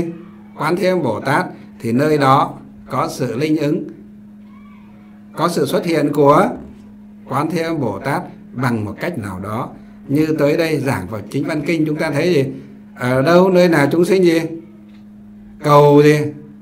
Cần đấy, cái thân phật để độ thoát. Quán thế bồ tát liền dùng thân phật để độ thoát cần dùng thân thanh văn bồ tát a la hán thì quán thế bồ tát dùng thân thanh văn bồ tát a la hán để độ thoát chúng sinh. Nhấn đến chúng ở nơi nào thì chúng sinh cần gì? Ở trong cõi gì? Cõi địa ngục. Ngạ quỷ súc sinh thì quán thế bồ tát dùng cái tấm thân nào đó để ở trong địa ngục thì bồ tát quán thế, bồ tát có thể thì là hiện thành một tù nhân, một tội nhân cùng ở trong cái ngục đó để giáo hóa từ từ những chúng sinh ở trong trong ngục khổ đó đó các quý vị. Cho nên, mới nói là gì? Là cái hành đức của ngài là đại, là viên thành, là đại, tức là là to lớn là như thế. Giống như hành nguyện đức địa tạng vương bồ tát vậy. Hai vị đại bồ tát này có cái tâm nguyện là gì? rộng lớn, vô lượng, vô biên. Cho nên, ở đây mới nói là vạn sư nếu cầu vạn sơ ứng là như thế. Chúng sinh ở trong a tỳ địa ngục cầu quán thế âm bồ tát. Nếu khi bị thì bị yêu đầu ngục tốt hành hình mà khổ đau quá. Do cái căn lành đời trước có thể gì? Nhân tu gieo với tam bảo mà xưng niệm được thì nam mô quán thế âm bồ tát, nam mô quán thế âm bồ tát. Quán thế âm bồ tát bằng hình thức nào đó không bỏ rơi những chúng sinh khổ đau ở trong a tỳ địa ngục. Tìm cách vào đó để cứu độ chúng sinh địa tạng vương bồ tát cũng làm được điều đó. Cho nên là tại ngôi chùa khai nguyên này, ở tại ngay trong tầng hầm của đại tượng a di đà phật vì vào bình thế giới đó, chúng tôi gì? Chúng tôi cho xây dựng cảnh lục đạo luân hồi ở ở dưới cái tầng hầm đó. Và ở giữa trung tâm của tầng hầm đó có gì? Có điện gọi là thập điện diêm vương, tức là nơi mà 10 vị diêm vương từ đệ nhất điện tần quảng minh vương, đệ nhị điện sở giang minh vương, đệ tam điện tống đế minh vương, đệ tứ điện ngũ quan minh vương, đệ ngũ điện diêm la minh vương để lục điện biến thành minh vương để thất điện thái sơn minh vương để bát điện biển bình chính minh vương để cửu điện đô thị minh vương và để thập điện chuyển luân minh vương đó. Mười vị minh vương này thay nhau cai quản và chịu cái sự ủy thác của thượng đế, của ngọc hoàng là vua của gì? Của chúng sinh ở quái dục giới này. Ở quái nam thiệm bộ châu này, ngài trong kinh pháp hoa, đức phật gì, cũng chính là tán dương và khen ngợi và nói là ngọc hoàng thượng đế chính là cha lành của gì? Của chúng sinh ở quái nam thiện bộ châu này. Cho nên, ở trong giữa cái lục đạo cho chúng tôi làm cái điện, thập điện diêm vỡ xử án, trong thập điện đó có gì? Chính giữa là có bồ tát địa tạng. Ngồi ở trên gì? Ở trên trên giường lửa, ngồi ở trên rừng lửa để tự do, tự tại, thuyết pháp, giáo hóa độ sinh. Mấy hôm nay, từ hôm à, tối hôm 30 Tết cho đến hôm nay là ngày mùng 3 Tết, thông qua các sư ở trong chùa và mọi người đi lễ, chúng tôi biết rằng cái cảnh giới địa ngục mà được xây dựng được thiết kế và xây dựng ở trong gì? Trong tầng âm của đại tượng. Đã hoàn thành được 18 tầng địa ngục rồi. Giáo hóa trực quan rất rất tốt. Có những đám thanh niên mà các bác nói là gì? nhìn rất là gì? Nói theo thế gian, thế tục một chút, có nhìn rất là bậm trợn. Có nghĩa là rất là nghịch ngợm.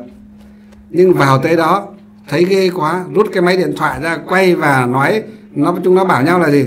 Đấy, chúng mày nhá, đừng có làm ác làm ác sau này á vào đây á thì khổ lắm. Nhìn đây này. Cho nên đừng có làm ác. Rồi có những người thì dắt đứa con trai vào trong trong động đó đi ra. Người bố nói đứa con mà gì đấy cả đời gì? Cả đời nếu cứ tạo nghiệp nếu cứ tham đám nếu cứ lo gì kiếm tiền cho thật nhiều tới khi chết đi như thế cũng có giải quyết được gì đâu. Người cha dắt đứa con theo. Dạy đứa con gì, một cách gì, vừa ra khỏi cái cổng gì cái cổng địa ngục, liền nói với đứa con trai của mình rằng á, làm người, nếu cứ chạy theo gì cái tài lợi của thế gian mà kiếm kiếm tiền cho thật nhiều tiền có nhiều á, mà sau này chết đi. Nếu có vào, bị vào đó thì cũng có mang theo được cái gì đâu. Chẳng giải quyết được cái gì cả đó. Cho nên á, ở đây mới nói gì? Vạn xứ nếu cầu vạn xứ ứng, không chỉ bồ tát địa tạng có gì? Có công năng vào trong a tỳ địa ngục, hay tất cả vô lượng vô biên chúng sinh thọ khổ ở trong các địa ngục để cứu độ. Quán thế âm cũng có năng lực, cũng có thần thông và cũng có hạnh nguyện để làm được cái điều đó cũng như địa tạng vương bồ tát. Cho nên ở đây, chúng tôi mới gì? Mới dùng cái lời xưng tán, nương vào gì? Uy thần của mười phương chư Phật mà dùng lời xưng tán. Đức Quán Thế Âm là gì? là vạn xứ nếu cầu, vạn xứ ứng, chúng sinh khổ hải chẳng còn chi. Ai? Bất cứ ai. Đau khổ đến đâu? Nhưng nhất tâm xưng niệm Quán Thế Âm Bồ Tát. Được Quán Thế Âm Bồ Tát hiện ra trước mắt để độ, thì người đó đều thoát đi, thoát khỏi tất cả những nỗi những nỗi khổ ở thế gian. Không sớm thì muộn. Hôm nay có thể vì đó nghiệp quá nặng chưa được thoát khổ.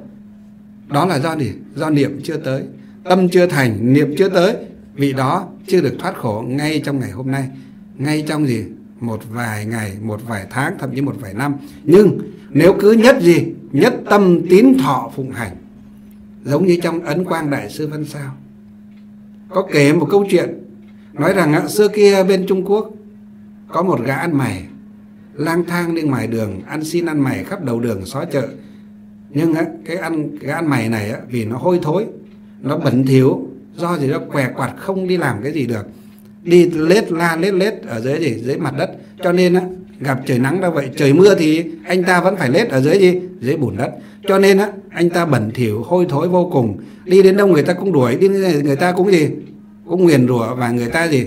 Xua đuổi đánh đập cho. Cho nên á, xin ăn không được. Anh ta đau khổ muốn gì?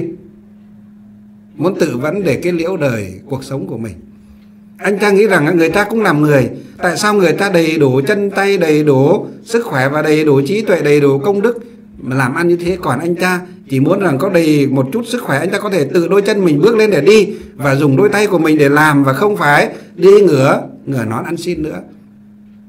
Nhưng mà không được. Vì anh ta mong ước không được, cho nên anh ta muốn đoàn mạng sống của mình. Và anh ta nghĩ rằng đoạn mạng sống ở ngoài chợ thì anh ta trở thành con ma đói. Cho nên anh ta gì lê lết đến trước cửa một ngôi chùa và anh ta định đoạn mạng sống của mình. Anh ta nghĩ là đêm hôm hôm hôm đó anh ta, đêm một đêm hôm và một đêm hôm đó anh ta sẽ gì? Sẽ đoạn mạng sống. Ở thì, ở trước cửa chùa, anh ta có gì? Nghĩ rằng nếu anh ta có chết thành con ma con ma đói ở trước cửa chùa thì hàng ngày, sáng tối nhà chùa tối tối lại có cúng gì? Cúng thí thực tất cả các chùa thì chúng ta thấy ai, ai cũng thí thực mà. Thì anh ta thì ít nhất thì mỗi ngày anh ta cũng được một bữa cháo. Cũng gì? Cũng con ma cũng đỡ khổ hơn là kiếp người này. Làm ma đói còn đỡ khổ hơn vì ma đói còn mỗi một ngày buổi chiều tối được còn nhà chùa cúng cháo anh ta còn được bát cháo. Còn làm người anh ta không được cái gì cả. Vào chùa xin thì anh ta không dám. Rất may cho anh ta thì cái vị phương trượng trụ trì đó à, đi hoàng pháp về thì thấy anh ta à, nằm lê lết ở trên dưới, dưới, dưới cổng tam quan. Thì hỏi ra anh ta mới gì? Mới tâm sự. Thế vị hòa thượng đó mới nói rằng vậy thì thôi thì ờ, ngươi cứ vào đây đem cái gã ăn mày nó vào chùa. Sai mấy chú tiểu là tắm rửa rồi lấy bộ quần áo nâu cho gì? Cho nó mặc vào. Cho cơm cho nó ăn tắm rửa xong cho cơm nó ăn cắt tóc cắt tay nó đi nhìn cũng đàng hoàng lắm. Có mỗi cái chân nó bị què quạt không đi được thôi. Và mấy hôm sau vì hòa thượng gì à, đi qua và bảo rằng á tại sao mà con lại đến nâng nỗi như thế? Vị này kể rằng á, ngày xưa khi con sinh ra đã bị như vậy. Vì hòa thượng thì xét thấy đây là cái nghiệp đời trước của nó là gì? Là cái nghiệp do gì ạ? Các vị biết do nghiệp gì không? Vị hòa thượng đó là vị thánh tăng, đã tu chứng đắc được thánh quả rồi, cho nên nhìn thấu rõ là gì? Kiếp trước, nó chính là những đứa trẻ, những đứa trẻ tinh nghịch hay bắt những con gì? Con cua. Và bẻ những cái càng con cua đi. Bắt bắt những con bọ xít. Và bẻ những cái chân, bắt cắt những con chân con bọ xít đi. Và dùng cái chút nhựa đường á, cắm lên cái que diêm và cho cái gì? Cho cái con bọ xít vào đó và gãy gãy cho nó bay và đứa trẻ đó cười. Rồi những cái con gì? Con ếch, con nhái. Đứa trẻ đó bắt và gì? Bẻ cái chân nó đi để cho nó bỏ lên bỏ lết và đứa trẻ đó vui và cười. Do nhân đấy. Đời này, tuy được làm người, nhưng mà bị què quặt, yếu đau, bệnh tật. Không nơi nương tựa như vậy. Nhưng rất may là gì? Trước khi cái đứa trẻ kia, nó chết. Nó được một cái cái duyên lành là là bố mẹ nó vốn là một phật tử, thỉnh được một vị hòa thượng đến thì đến nhà để tụng kinh siêu độ cho nó. Cho nên do cái nhân lành đó, đời nay nó được làm người. Và nó vẫn phải bị triệt trả quả báo là gì? Bị què quặt, bệnh tật, đói khát, bố mẹ bị mất sớm đó.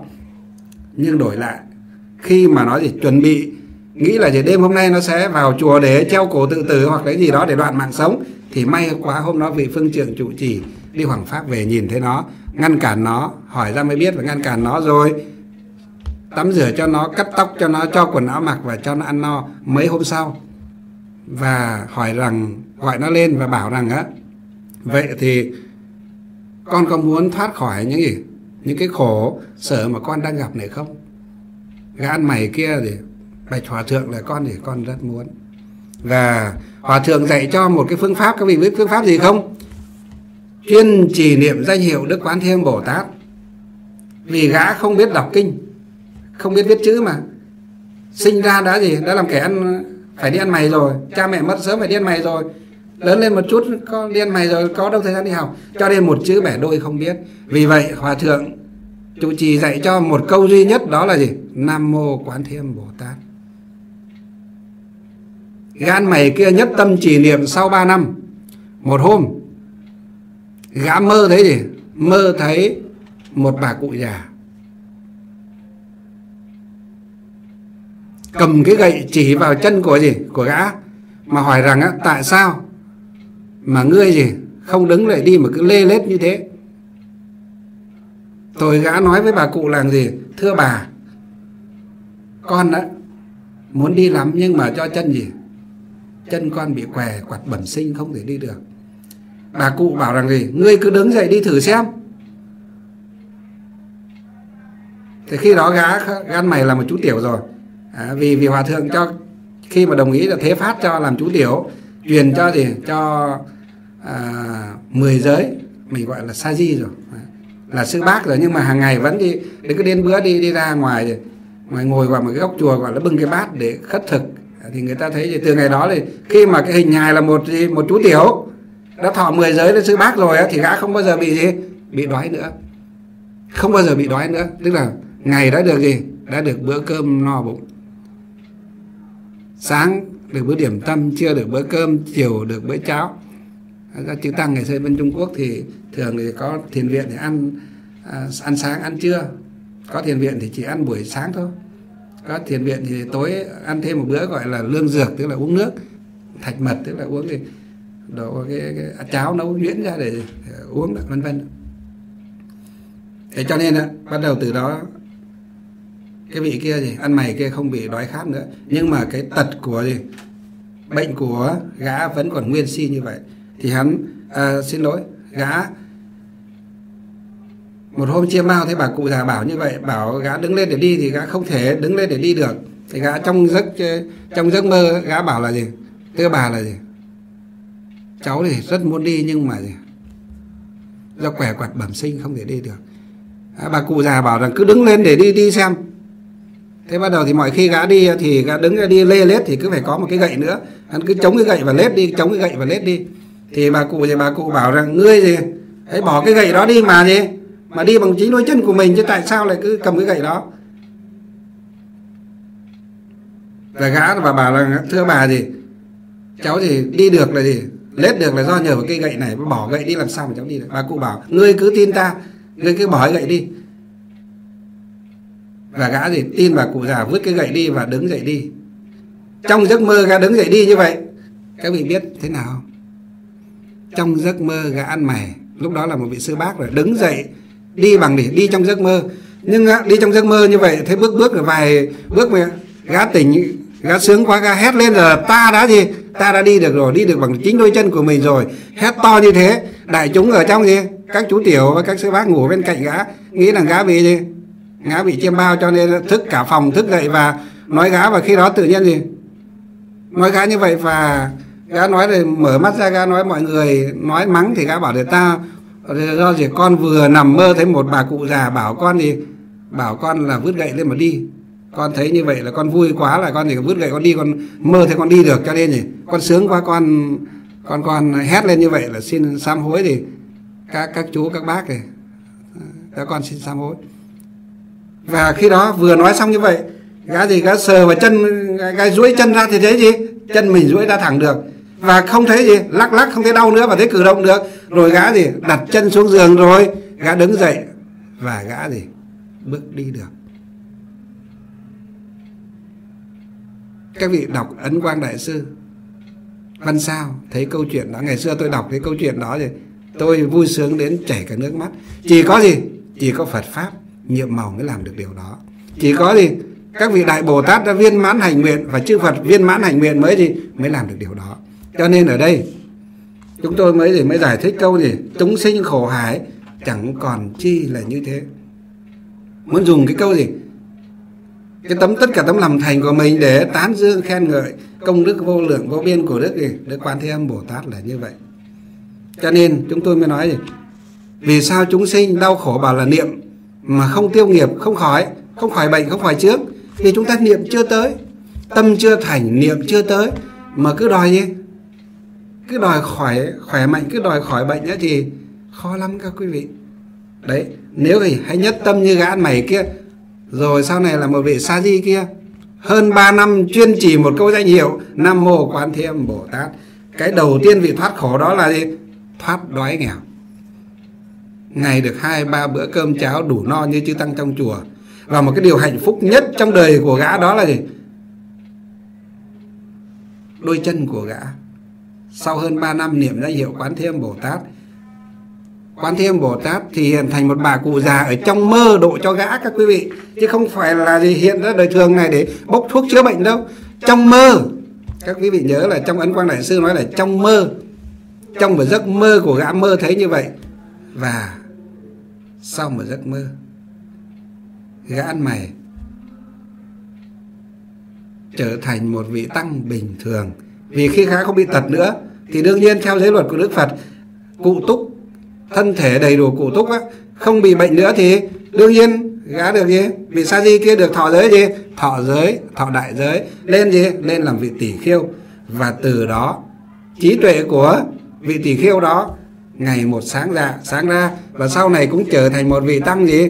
Một vị tăng giới đức nổi tiếng của Phật giáo Trung Hoa. Chúng ta thấy. Quán Âm Bồ Tát. Bất tư nghì là như thế.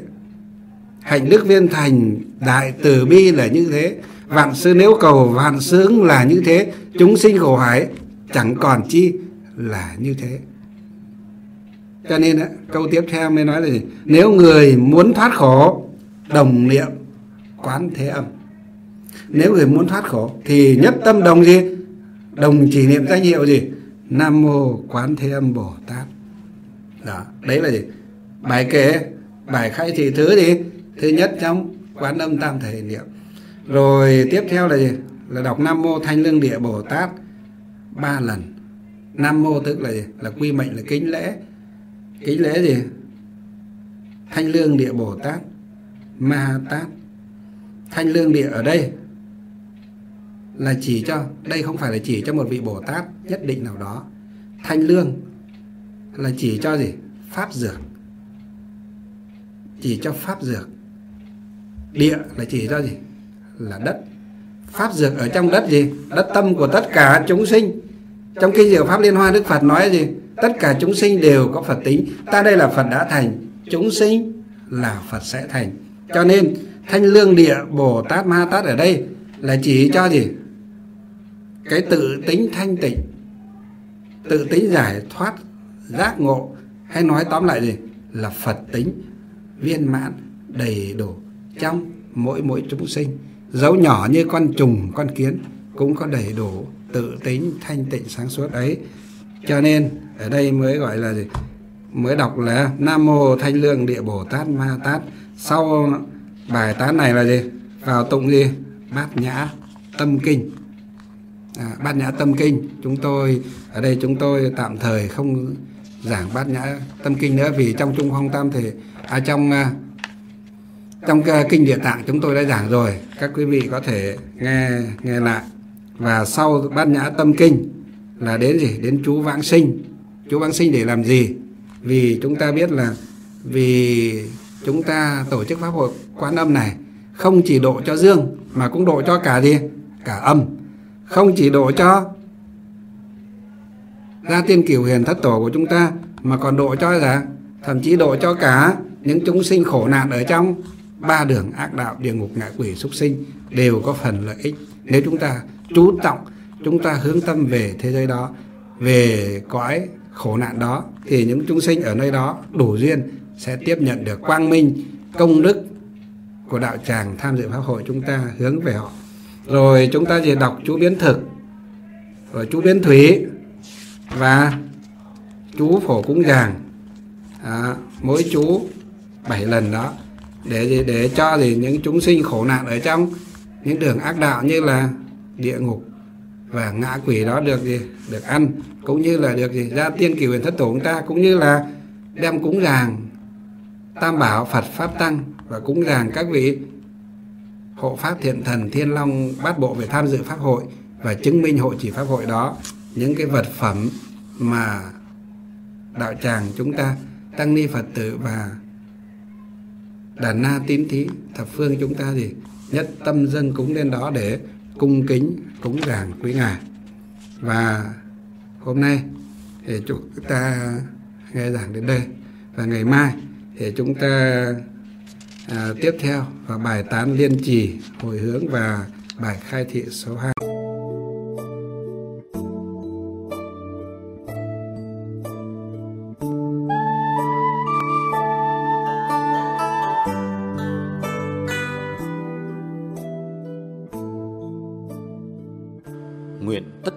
chúng sinh đều tín niệm Di Đà, đồng cầu sinh về nước cực lạc.